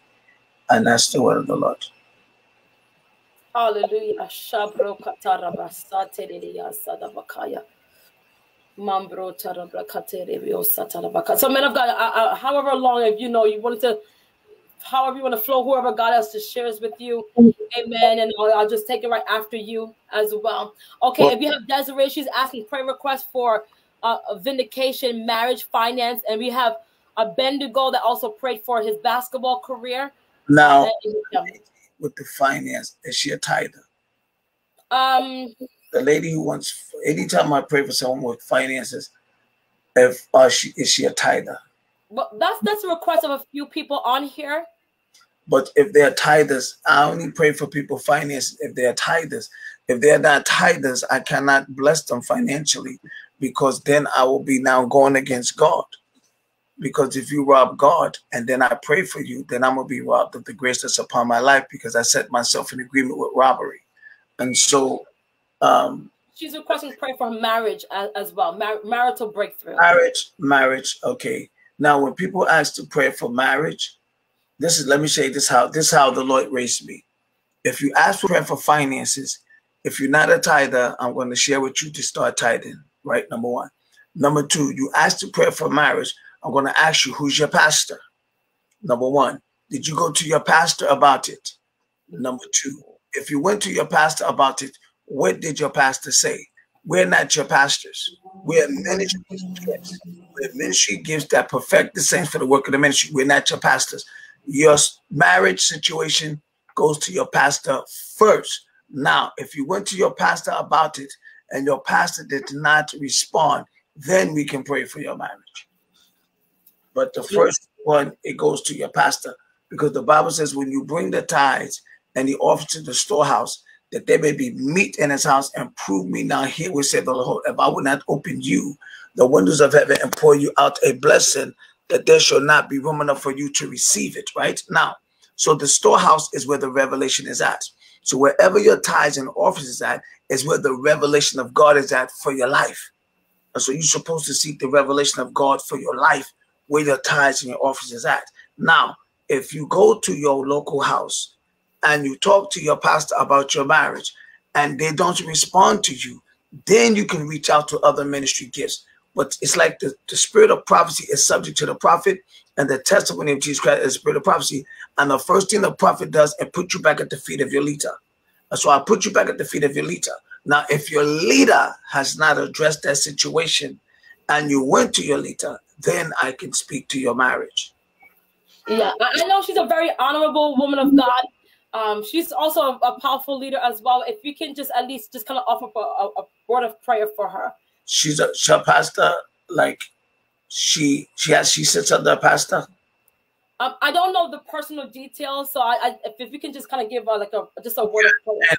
And another thing I want to say, if the people don't know, especially when you pray for marriages, I'm a man that's married. I'm a married man, seven children. When you pray for people's marriage, an attack comes to your marriage. Okay, an attack comes to my marriage if I pray for your marriage. So I have to make sure that you are in alignment with your spiritual leader.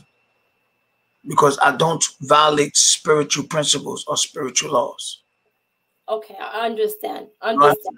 You understand that? Because I pray for marriages, but the tax comes to my marriage once I pray for you. But if you're properly aligned with your pastor and I pray for you, good. So the first thing is your relationship with your spiritual leader. Okay, so however the Holy Spirit is leading you, men of God, there's any specific person that the Lord had shared. I I, I want if you can pray for a, a Sheba. She's requesting prayer. Sheba Q. Sheba Q. There's a there's a sensitivity of the spirit that the Lord wants to give to you. And the Lord says He's calling you into a season of prayer and fasting because you're hungering for the supernatural. You like to read the Psalms and you remind of David, the one who's really after God's heart. But the Lord says, not only that, but you have to move in supernatural signs and, and, wonders because I want to send you as a witness. But I call him, I, I hear him calling you a witness miracle or a miracle witness, something to that effect, a miracle witness or, or, or, or, or a witness miracle, where you will begin to speak to people and the evidence of heaven will begin to show up in your life. Otherwise, the Lord says you will not go with empty words. The scripture in First Corinthians 2 4 and 5, Paul said that when I came to you declaring the gospel, I did not come to you excellency of speech of man's wisdom, but I came to you in the demonstration of the Spirit and of power, that your faith should not stand, rest, nor rely in the wisdom of men, but in the power of God. And Lord says, Daughter, I called you to be the power carrier with signs, wonders, and miracles.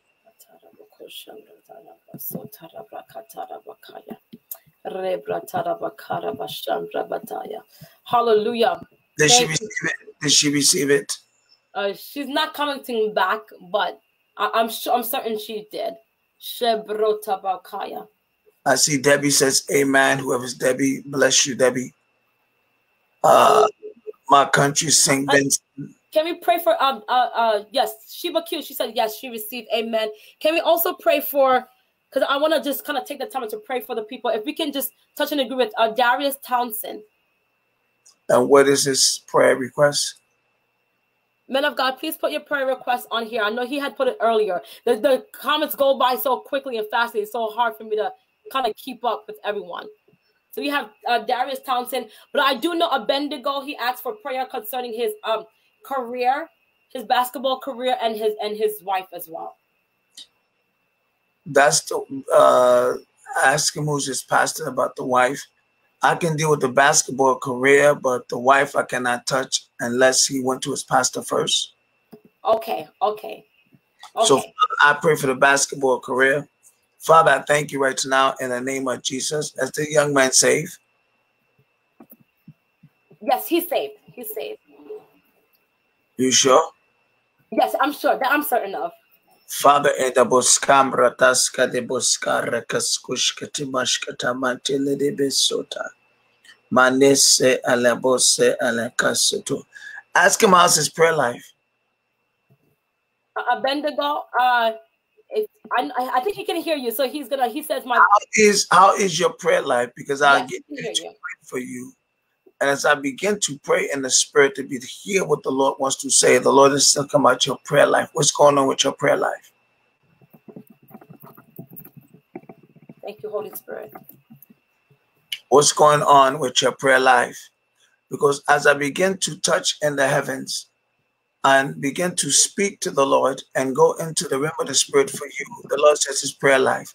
What's going on with your prayer life? Thank you, Jesus. Hallelujah. I don't see it.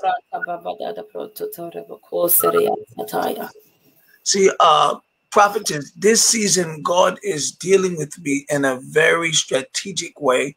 Yes, sir. Because I'm on a 120 day fast. And so um, I'm not so quick to prophesy and to speak um, here quick. Yes, sir. I'm hearing before I move. So that's why I'm moving this way because I'm very, very sensitive in this season. And I know that a lot of people in this season is going through the breakings of God. Yes. God is breaking people in this season. And if we pray against the breaking, then the breaking would take longer.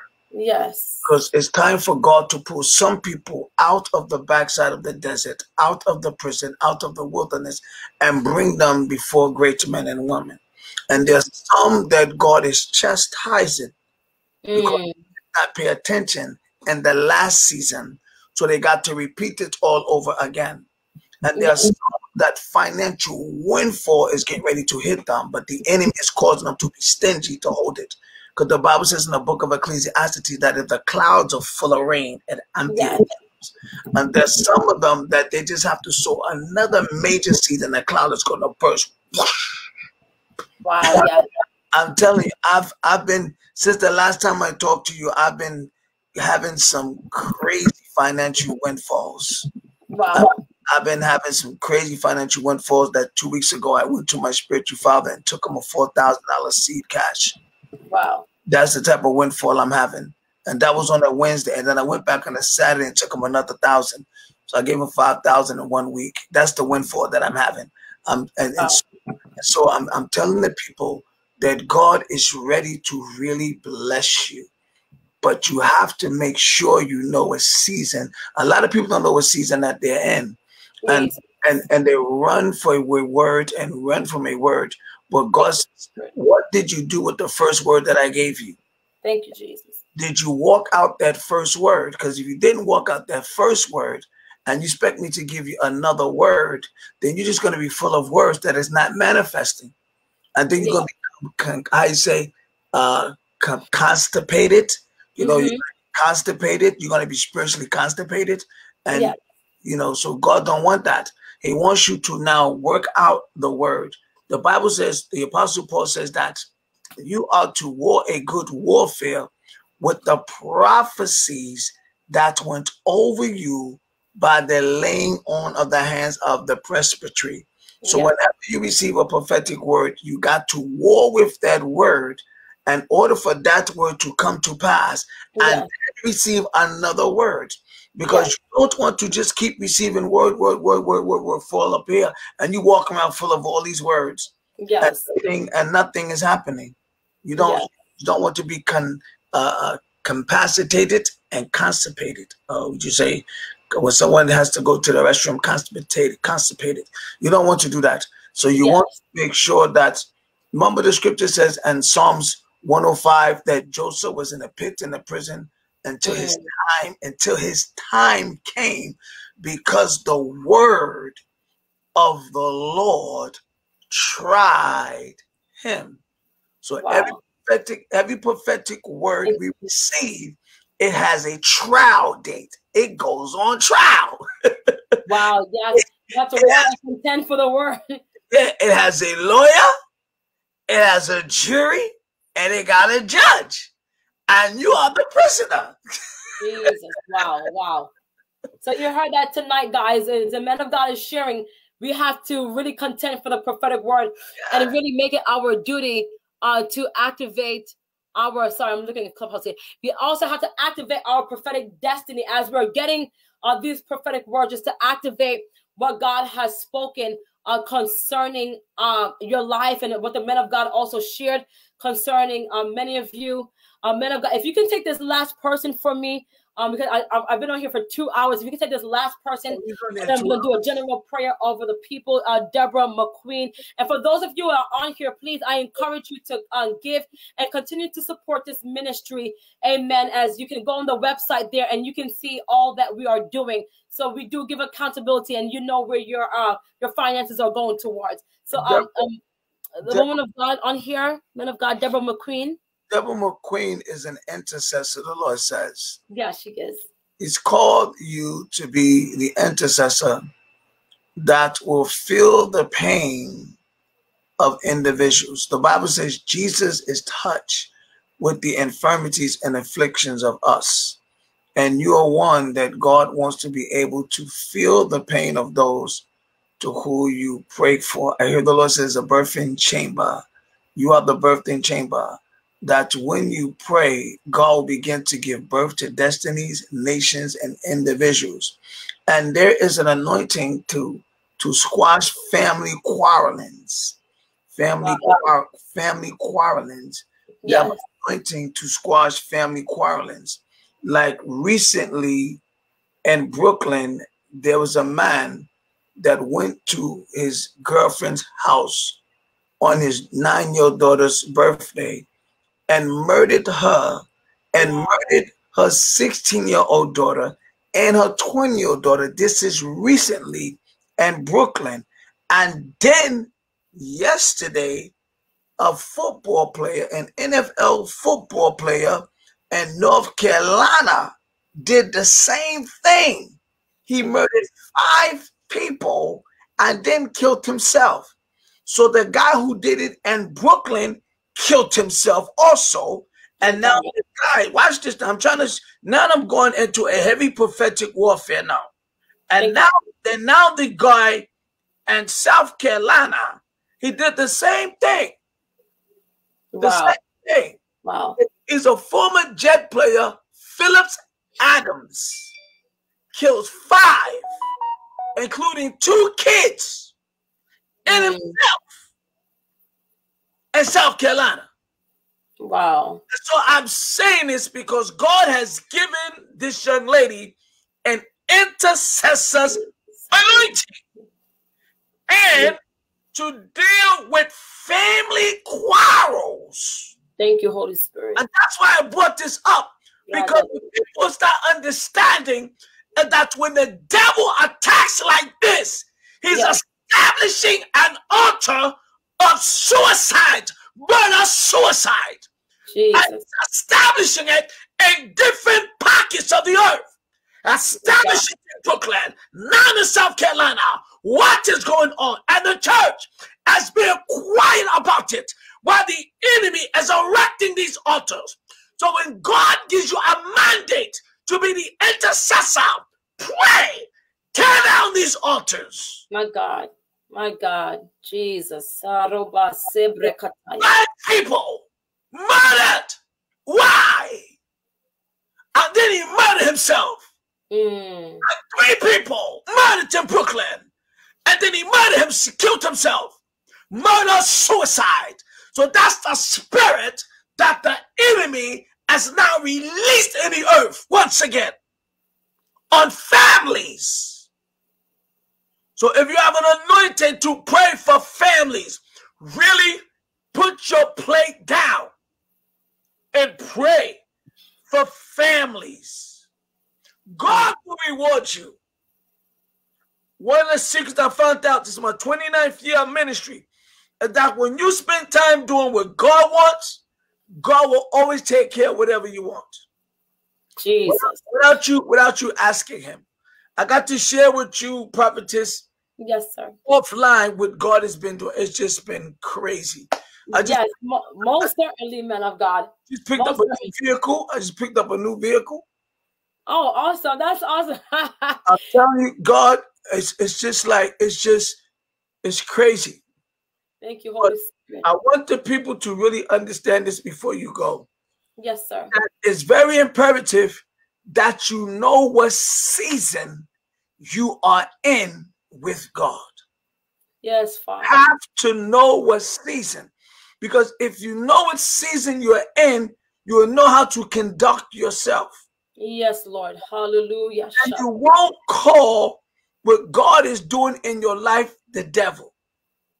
Jesus. Jesus. And you won't call what the devil is doing in your life God. Yes, Lord. Because whenever God is working in your life, it's going to appear that is it is the devil. Thank you, Uncomfortable, unpleasant, mm. unkind, and cause you to be a little bit antsy. Yes. Because he needs the poison that's in you to come out of you. Jesus. In order for the poison to come out, he needs to put the heat on you more hotter. Yeah. He heat you through the circumstances that you can't get out. For an example, mostly everybody that's looking on here receive a stimulus check. Mm. I receive an income tax check. Yes, God. Did you, did you go to your pastor and sow a special seed to your spiritual leader out of that increase? Thank you, Jesus. That's about a hundred dollars. Thank you, Jesus. When was the last time you sold a thousand dollar seed to your spiritual leader? Bless you, Lord. Bless you, Jesus. I'm asking the question because God looks at what you do with His money that He you. Because it's not your money; it's God's money. Bless the Father. Because Galatians 3:13 says Christ redeemed you from the curse. He he brought you back from the curse of law. So you redeemed from spiritual death, you're redeemed from poverty, and you're redeemed from sickness and disease. So since he bought you, he owns you. And since he owns you, he owns everything you have. He just allowing you to be a steward over what is his. So when he asks you for it, prophetess, listen to this. Remember, yes, God, remember when God asks Abraham to kill his son? Yes, the, the sacrifice, yes. Isaac, but remember this now. Remember the ram was caught in the thicket. Mm-hmm. When the ram was caught in the thicket, God did not name that place Jehovah Jireh. Wow. Abraham called it Jehovah Jireh. Listen to this revelation. Abraham was able to reveal a purpose and a personality. Mm-hmm. watch this, and a side of God that has not been released in the earth until he was willing. Yes. Sacrifice that what was close to him. Yes. When he willing to sacrifice that was close to him, God now gave Abraham what was close to him. That mm-hmm. he's Jehovah Jireh, the God that provides. And I want to tell the people, Thank you, you. Cannot, you cannot claim God and you cannot say God is your Jehovah Jireh until you are willing to release something that is close to your heart that you will give to God. Because that's when the principle of Jehovah Jireh came into existence. When Abraham was willing to offer up his son. A same thing with, with uh, uh, uh, Philippians 4.19. But my God shall supply all your need according to the rich glory of Christ Jesus. You don't have a right to claim that scripture. Because everything must wow. be context. You can't take the text out of the context and make it work for you. It has to context, the text has to work together. And according to the text, it says that you Philippians, you gave not only once to my necessities, but twice you gave for the work of the Lord. Not that I desire a gift, but Thank I you. desire a gift of fruit may bound to your account. Then he says, But my God shall supply your needs. Yes, See, my God shall supply your needs because you gave into my work. Since you yes. gave into my work, I released the prophetic prayer. Yes. I released the apostolic prayer on you now, my child, supply all your need according to his rich glory by Christ Jesus. Why? Because you gave into the work of the ministry. So you can't claim Philippians 4.19 as the scripture for your life if you have not sown into the work of the ministry. Many people try to take scripture out of context yeah. and make it work for them and then start yelling and complaining at God when it does not manifest because you don't meet the criteria or the standard of the principle for which it was spoken. Wow. And the people, you need to really understand that so you can get your life in line and alter with God. And don't wait until your spiritual leader asks you to sow a seed. Just sow it automatically because you love them. And love is always compelled to give. Love is compelled to give because love is a giving spirit. You can't say you love somebody without giving them. I remember uh, Prophetess Dihima when I first went to Clubhouse and I was in this prophetic room. I was in a prophetic room and there was prophesied to me, and the prophet Damina prophesied. And when she prophesied, God pulled something up out of me that was in me for a long time, and such a strong cry came out. Now, I was blessed by it. So what did I do? I took a seed and I rushed it to her right away. She yeah. didn't ask for the seed.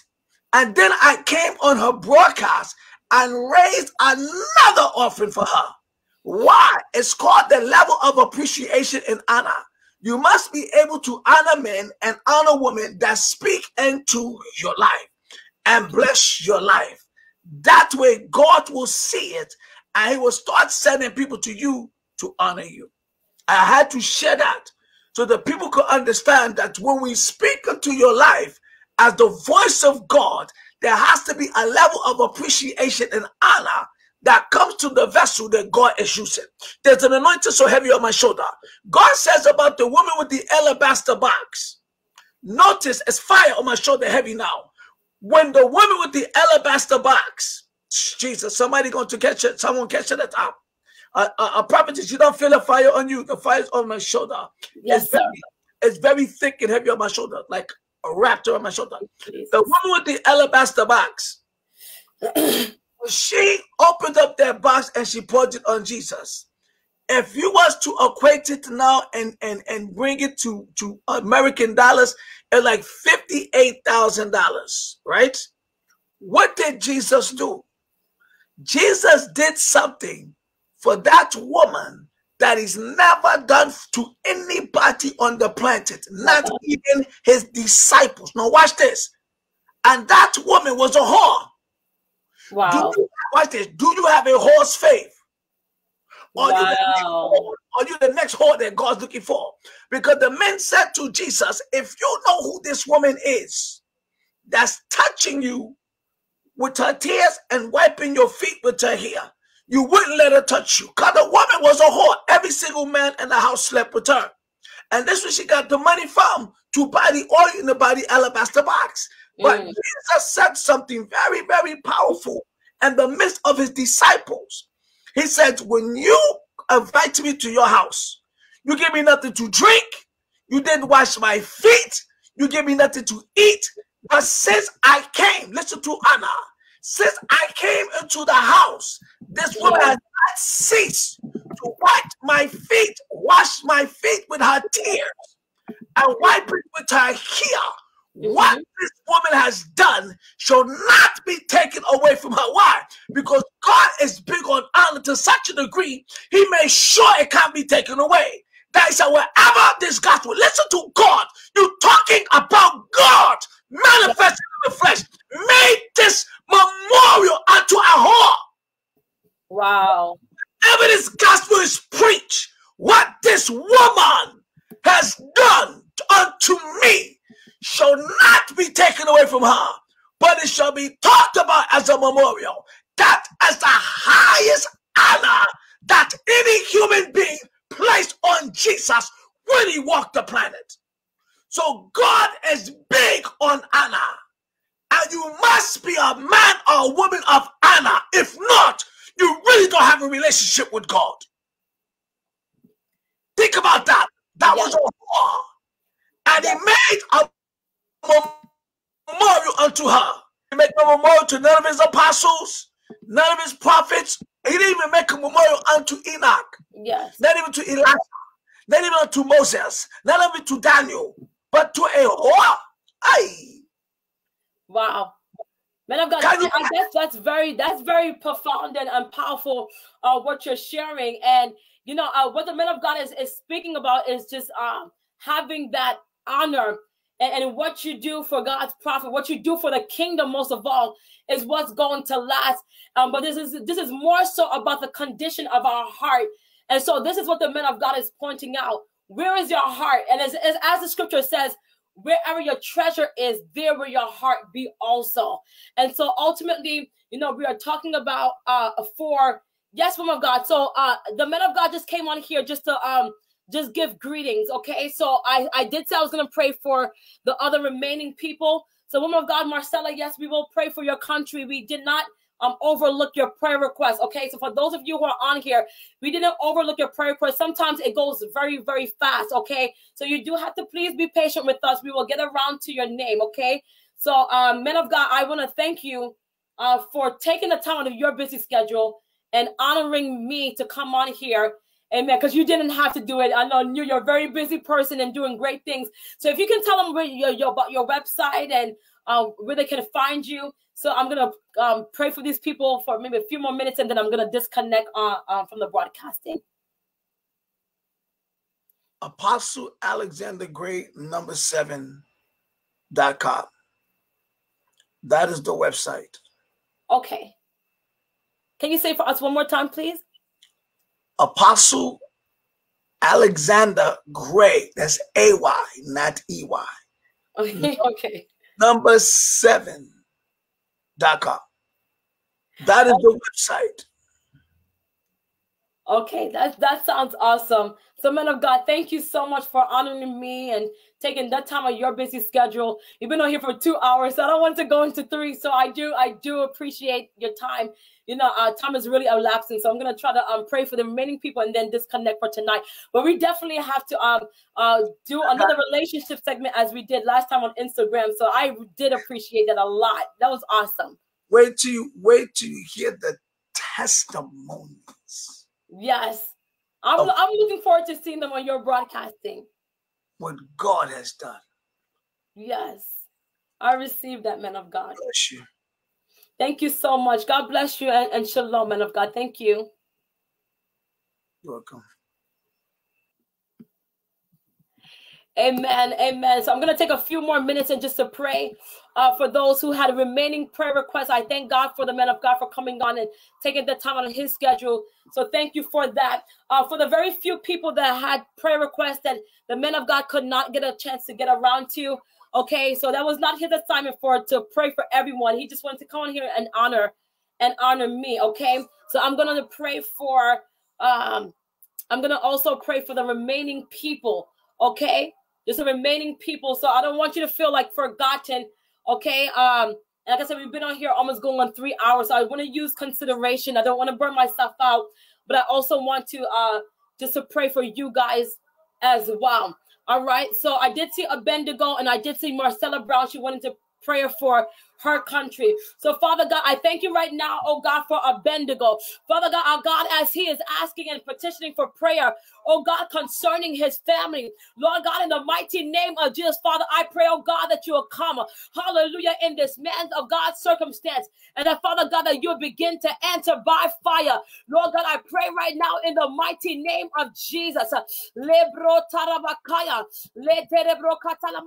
Father God, that you begin to answer by fire and do a supernatural work on his behalf, God. I thank you right now in the mighty name of Jesus, uh, Lord God, for a divine turning around. I also pray concerning his career in the mighty name of Jesus, that Lord, uh, hallelujah, that you begin to remember him. Uh, God, I pray that you'll begin to answer by fire. I thank you, oh God, in the name of Jesus, that God, that you will open up the portals of heaven. Uh, oh God, open up the windows of heaven concerning his life right now, according to your will.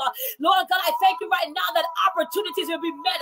I come against every closed doors. I come against every limitation, every embargoes the enemy is setting up in your life. Abednego, in the name of Jesus, men of God, I pray that there will be no more limitations in your life. For yes, the enemy would even try to set up limitations. I saw like limitations uh, because he wants to slow you down and he wants to stop you.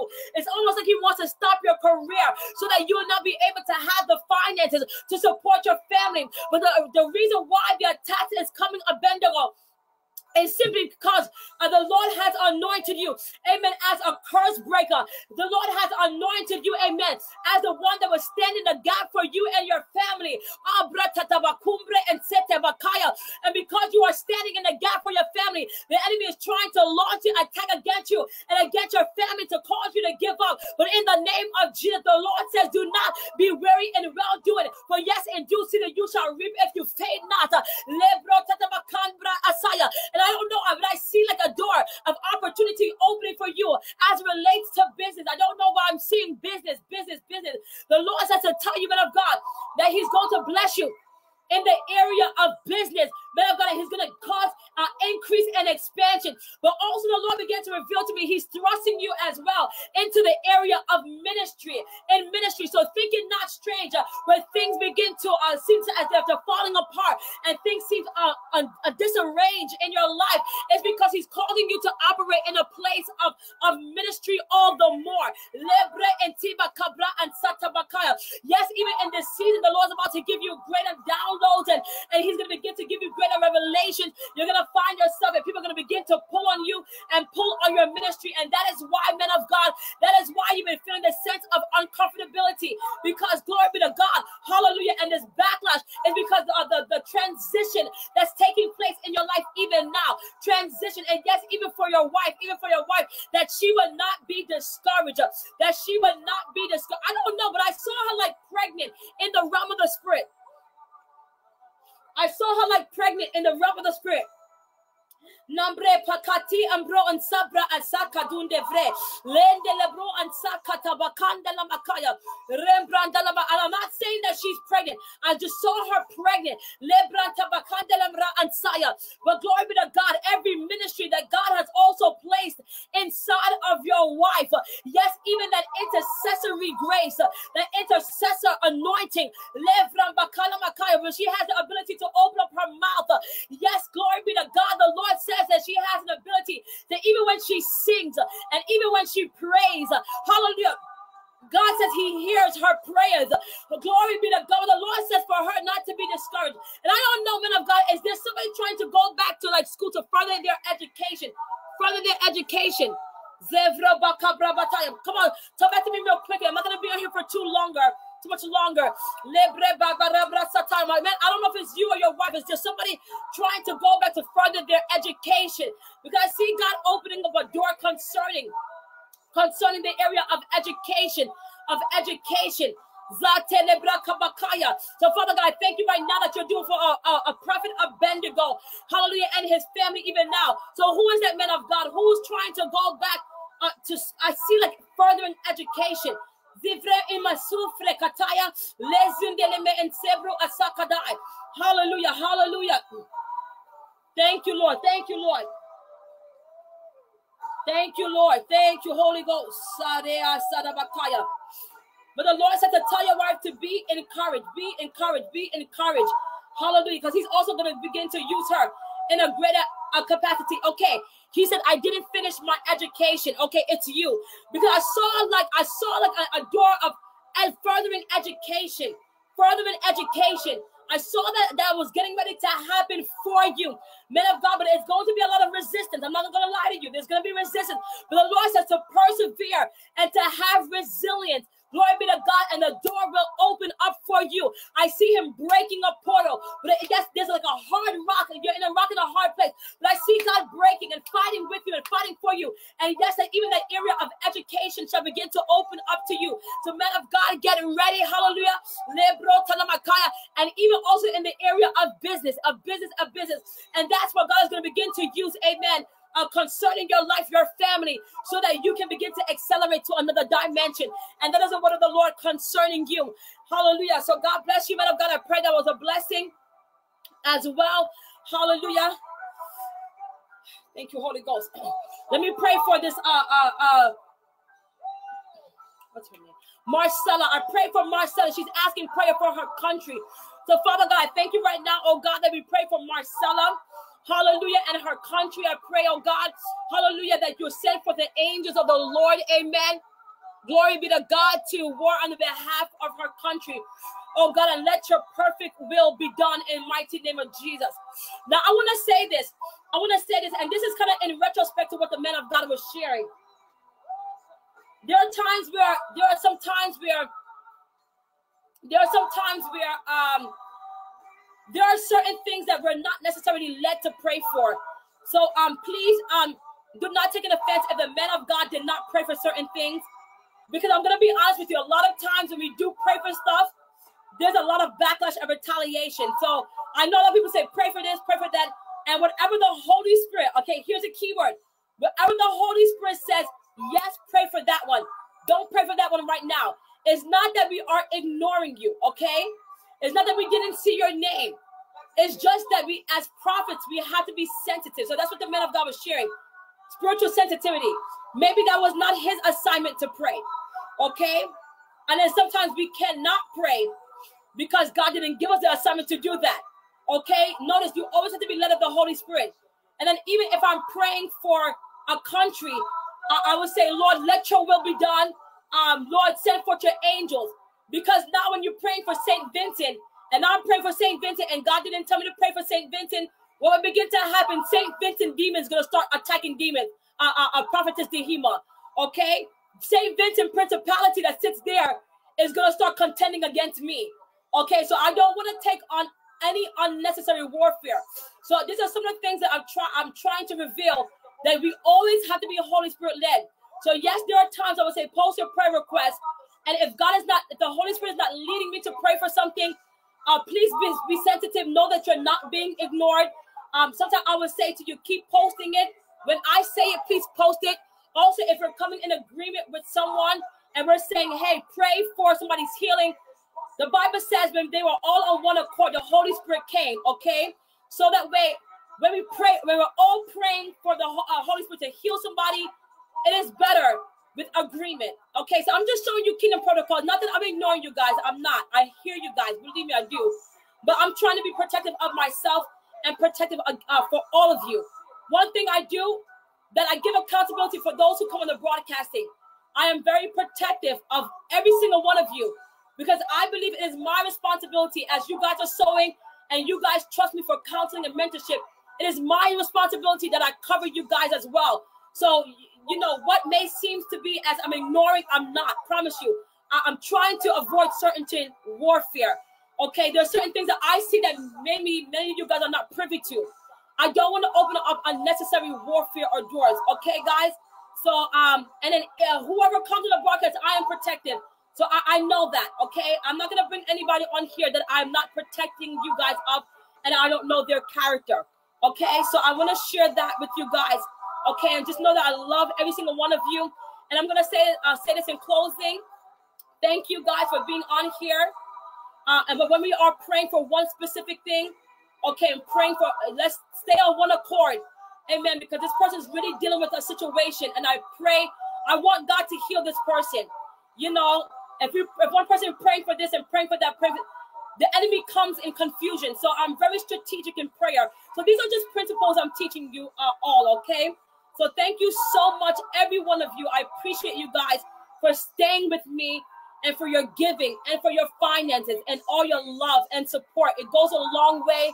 And know that for those of you who are on here, I give accountability. And if you ever need to reach me, I make myself available and accessible to you guys, okay? So, guys, I love you. Jesus Christ love you. Uh, live in the expectancy of God. If you do not know Jesus Christ as your personal Lord and Savior, all you have to do is accept it in your heart believe in the Lord Jesus Christ. Confess with your mouth that He is Lord, and you shall be saved. You can find me on Clubhouse under the name Dihima McLean. Amen. You can follow me on YouTube, Dihima McLean, Prophetess Dihima McLean. On Facebook, Dihima McLean Ministries. Okay. And I'm on here every Thursdays at 9 p.m. Eastern Standard Time.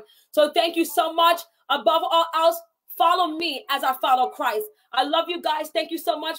And shalom until we meet again in Jesus' mighty name. God bless you and thank you.